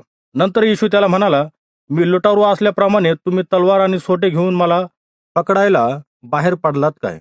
मी दररोज परमेश्वराच्या भावनात शिकवित असता तुम्हाबरोबर होतो आणि तुम्ही मला अटक केली नाही. परंतु शास्त्रलेख पूर्ण झालाच पाहिजे. सर्व शिष्य त्यास सोडून पळून गेले. एक तरुण मनुष्य अंगावर तागाचे वस्त्र पांघरून त्याच्यामागे चालत होता. त्यांनी त्यास धरले परंतु तो तागाचे वस्त्र टाकून उघडाच पळून गेला. मुख्य याजकासमोर येशूची चौकशी. नंतर त्यांनी येशूला तेथून महायाजकाकडे नेले आणि सर्व मुख्य याजक लोकवडील व नियमशास्त्राचे शिक्षक जमा झाले. थोडे अंतर ठेवून पेत्र येशूच्या मागे सरळ महायाजकाच्या वाड्यात गेला. तेथे पेत्र कामदाराबरोबर विस्तव्याजवळ शेकत बसला. मुख्य याजक लोक आणि सर्व यहुदी सभा येशूला जीवे मारण्यासाठी पुरावा गोळा करण्याचा प्रयत्न करीत होते परंतु त्यांना काही मिळेना. पुष्कळांनी त्याच्या विरुद्ध खोटी साक्ष दिली परंतु त्याची साक्ष सारखी नव्हती. नंतर काही जण उभे राहिले आणि त्याच्या विरुद्ध साक्ष देऊन म्हणाले आम्ही त्यास असे म्हणताना ऐकले की हाताने बांधलेले परमेश्वराचे भवन मी पाडून टाकेन आणि हाताने न बांधलेले असे दुसरे भवन तीन दिवसात उभारीन. परंतु तरीही या बाबतीत त्याच्या साक्षीत काहीच मेळ नव्हता. नंतर महायाजक त्याच्यापुढे उभा राहिले आणि त्याने येशूला विचारले तू उत्तर देणार नाहीस काय? हे लोक तुझ्या विरुद्ध आरोप करत आहेत हे कसे? परंतु येशू गप्प राहिला त्यांनी उत्तर दिले नाही. नंतर महायाजकाने पुन्हा विचारले धन्यवादिताचा पुत्र ख्रिस्त तो तू आहेस काय? येशू म्हणाला मी आहे. आणि तुम्ही मनुष्याच्या पुत्राला सर्वसमर्थ देवाच्या उजवीकडे बसलेले व आकाशातील मेघासह येताना पाहाल. महायाजकाने आपले कपडे फाळले आणि म्हणाला आपणाला अधिक साक्षीदाराची काय गरज आहे? तुम्ही निंदा ऐकली आहे? तुम्हाला काय वाटते? सर्वांनी त्यास मरददंड योग्य आहे अशी शिक्षा फरमावली. काही जण त्याच्यावर थुंकू लागले त्याचे तोंड झाकून बुक्क्या मारू लागले व त्यास म्हणू लागले ओळख बरे तुला कोणी मारले? कामदारांनी त्यास ताब्यात घेतले आणि मारले. पेत्र येशूला नाकारतो. पेत्र अंगणात असतानाच महायाजकाच्या दासीपैकी एक तेथे आली. आणि तिने पेत्राला शेकताना पाहिले तेव्हा तिने त्याच्याकडे निरखून पाहिले व म्हणाली तू सुद्धा नासरेतकर येशू बरोबर होतास ना? परंतु पेत्राने ते नाकारले आणि म्हणाला तू काय म्हणतेस हे मला कळत नाही व समजतही नाही. पेत्र अंगणाच्या दरवाजाच्या देवडीकडे गेला आणि कोंबडा हरवला. तेव्हा दासीने त्यास पाहिले तेव्हा ते लोक तेथे होते. त्यांना ती म्हणू लागली की हा मनुष्य त्यांच्यापैकीच एक आहे. पेत्राने पुन्हा ते नाकारले. नंतर थोड्या वेळाने तेथे उभे असलेले लोक पेत्राला म्हणाले खात्रीने तू त्यांच्यापैकी एक आहेस कारण तू सुद्धा गालिले आहेस. पेत्र निर्भसना करीत व शपथ वाहून म्हणाला तुम्ही ज्या मनुष्याविषयी बोलत आहात त्यास मी ओळखत नाही. आणि लगेच दुसऱ्यांदा कोंबडा आरवला दोन वेळा कोंबडा हरवण्यापूर्वी तू मला तीन वेळा नाकारशील असे येशू म्हणाला होता याची पेत्राला आठवण झाली व तो अतिशय दुःखी झाला व मोठ्याने रडला.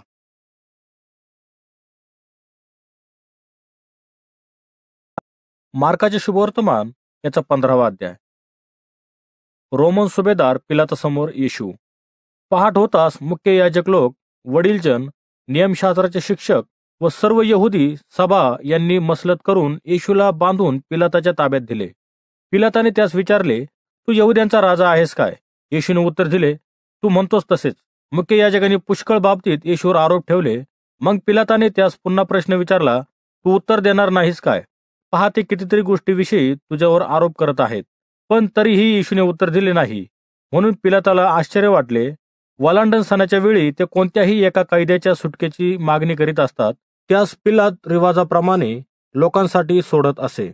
बरब्बा नावाचा एक मनुष्य बंडखोर बाबतीत तुरुंगात होता. त्याने दंगलीमध्ये खून केल्याबद्दल त्यास पकडण्यात आले होते. लोक आले आणि पिलाताला तो नेहमी त्यांच्यासाठी करीत असे तसे करायला लावले. पिलाताने विचारले तुमच्यासाठी यहुद्याच्या राजाला सोडावे अशी तुमची इच्छा आहे काय? पिलात असे म्हणाला कारण त्यास माहीत होते की द्वेषामुळे मुख्य याजकांनी येशूला धरून दिले होते. परंतु पिलाताने त्यांच्याऐवजी बरबाला सोडावे असे मुख्य याजकांनी लोकास चितवले. परंतु पिलास त्यांना म्हणाला तर मग तुम्ही त्याला यहुद्याचा राजा म्हणता याचे मी काय करावे? अशी तुमची इच्छा आहे. ते पुन्हा मोठ्याने ओरडले त्यास वधस्तंभावर खिळा. पिलाताने पुन्हा विचारले का? त्याने कोणता गुन्हा केला आहे?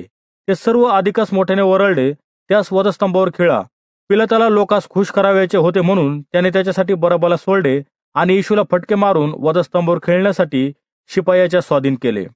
शिपाई येशूची थट्टा करतात. शिपायांनी येशूला राज्यपालाच्या वाड्यात प्रयतोरेमास म्हणजे कचेरीत नेले आणि त्यांनी सैनिकाची एक तुकडीस एकत्र बोलावली.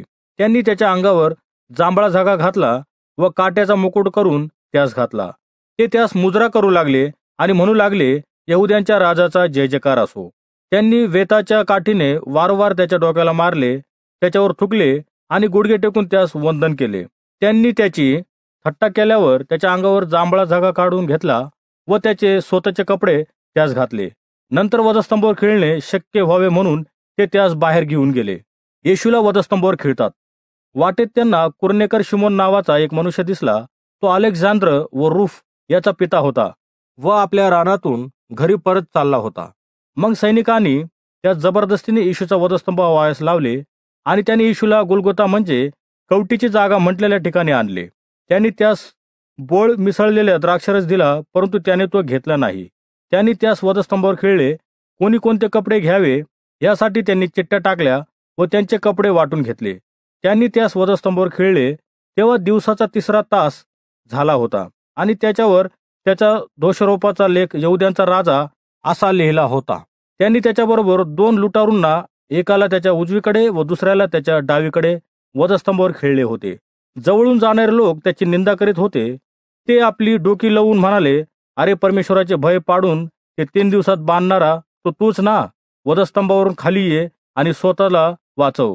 तसेच मुख्य याजकांनी नियमशास्त्राच्या शिक्षकांनी येशूची थट्टा केली आणि एकमेकास म्हणाले त्याने दुसऱ्याचे तारण केले पण त्यास स्वतःचा बचाव करता येत नाही. या इस्रायलचा राजा ख्रिस्त याला वधस्तंभावरून खाली येऊ द्या. मग आम्ही ते पाहू आणि त्याच्यावर विश्वास ठेवू. आणि जे त्याच्याबरोबर वधस्तंभावर खेळले होते त्यांनी देखील त्याचा अपमान केला. येशूचा मृत्यू. दुपारची वेळ झाली झाली. सगळ्या देशभर अंधार पडला. तो अंधार दुपारी तीन वाजेपर्यंत राहिला.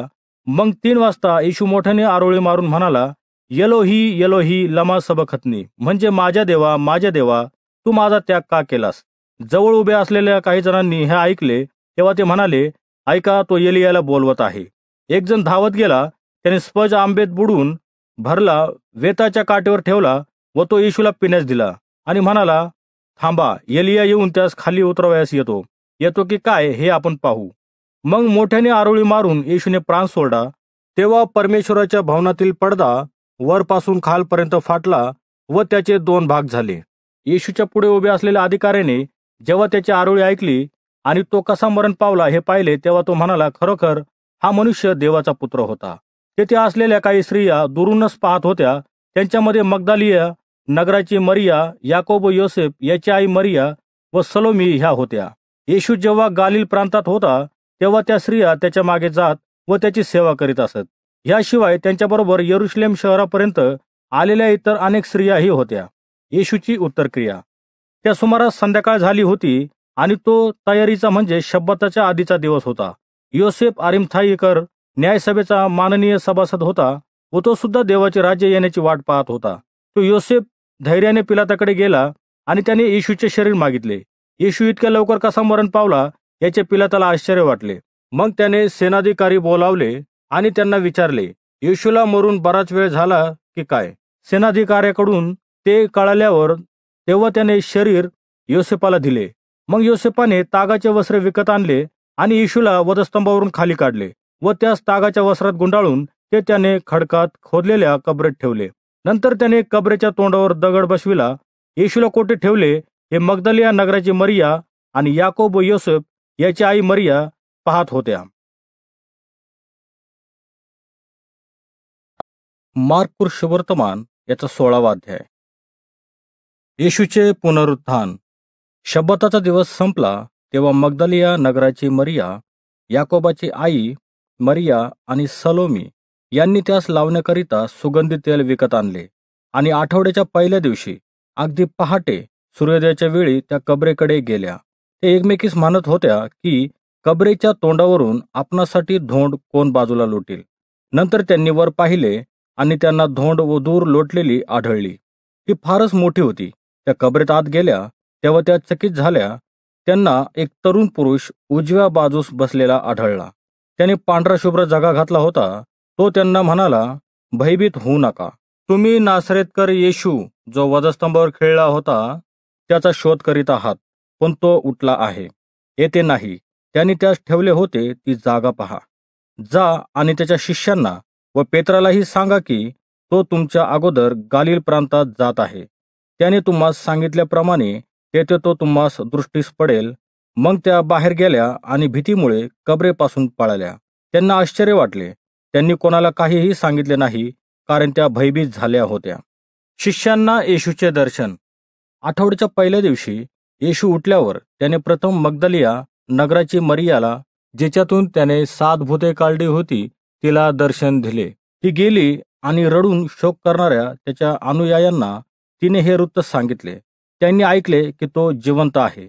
व तिने त्यास पाहिले आहे. तेव्हा त्यांनी तिच्या म्हणण्यावर विश्वास ठेवला नाही. यानंतर त्यांच्यापैकी दोघे उघड्या माळरानावर चालले होते. गावाकडे जात असता येशू त्यांना दुसऱ्या रूपाने प्रगट झाला. ते परत आले व इतरांना त्याविषयी सांगितले परंतु त्यांनी त्याच्यावरही विश्वास ठेवला नाही. नंतर अकरा शिष्य जेवत बसले असता येशू त्यांना प्रगट झाला. त्यांनी शिष्यांच्या अविश्वासाबद्दल आणि त्यांच्या अंतकरणाच्या कठोरतेबद्दल त्यांना समज दिली. कारण ज्यांनी त्यास उठवल्यावर पाहिले होते त्यांच्यावर त्यांनी विश्वास ठेवला नाही. येशूची शेवटची आज्ञा. तो त्यांना म्हणाला सर्व जगात जा आणि सर्व सृष्टीला सुवार्तेची घोषणा करा. जो कोणी विश्वास ठेवतो आणि बाप्तिस्मा घेतो त्याचे तारण होईल. परंतु जो विश्वास ठेवत नाही तो शिक्षेस पात्र होईल. परंतु जे विश्वास ठेवतील त्यांच्याबरोबर ही चिन्हे असतील. तेच ते माझ्या नावाने भूते काढतील. ते नव्या नव्या भाषा बोलतील ते आपल्या हाताने साप उचलतील आणि ते कोणतेही प्राणघातक पदार्थ प्याले तरी ते त्यांना कदापि बाधणार नाही. ते आजारावर हात ठेवतील आणि ते बरे होतील. प्रभू येशूचे स्वर्गारोहण व शिष्यांची कामगिरी. मग प्रभू येशू त्यांच्याबरोबर बोलल्यानंतर तो स्वर्गात घेतला गेला आणि देवाच्या उजव्या बाजूस जाऊन बसला. शिष्य बाहेर गेले आणि त्यांनी प्रत्येक ठिकाणी स्वार्थची घोषणा केली.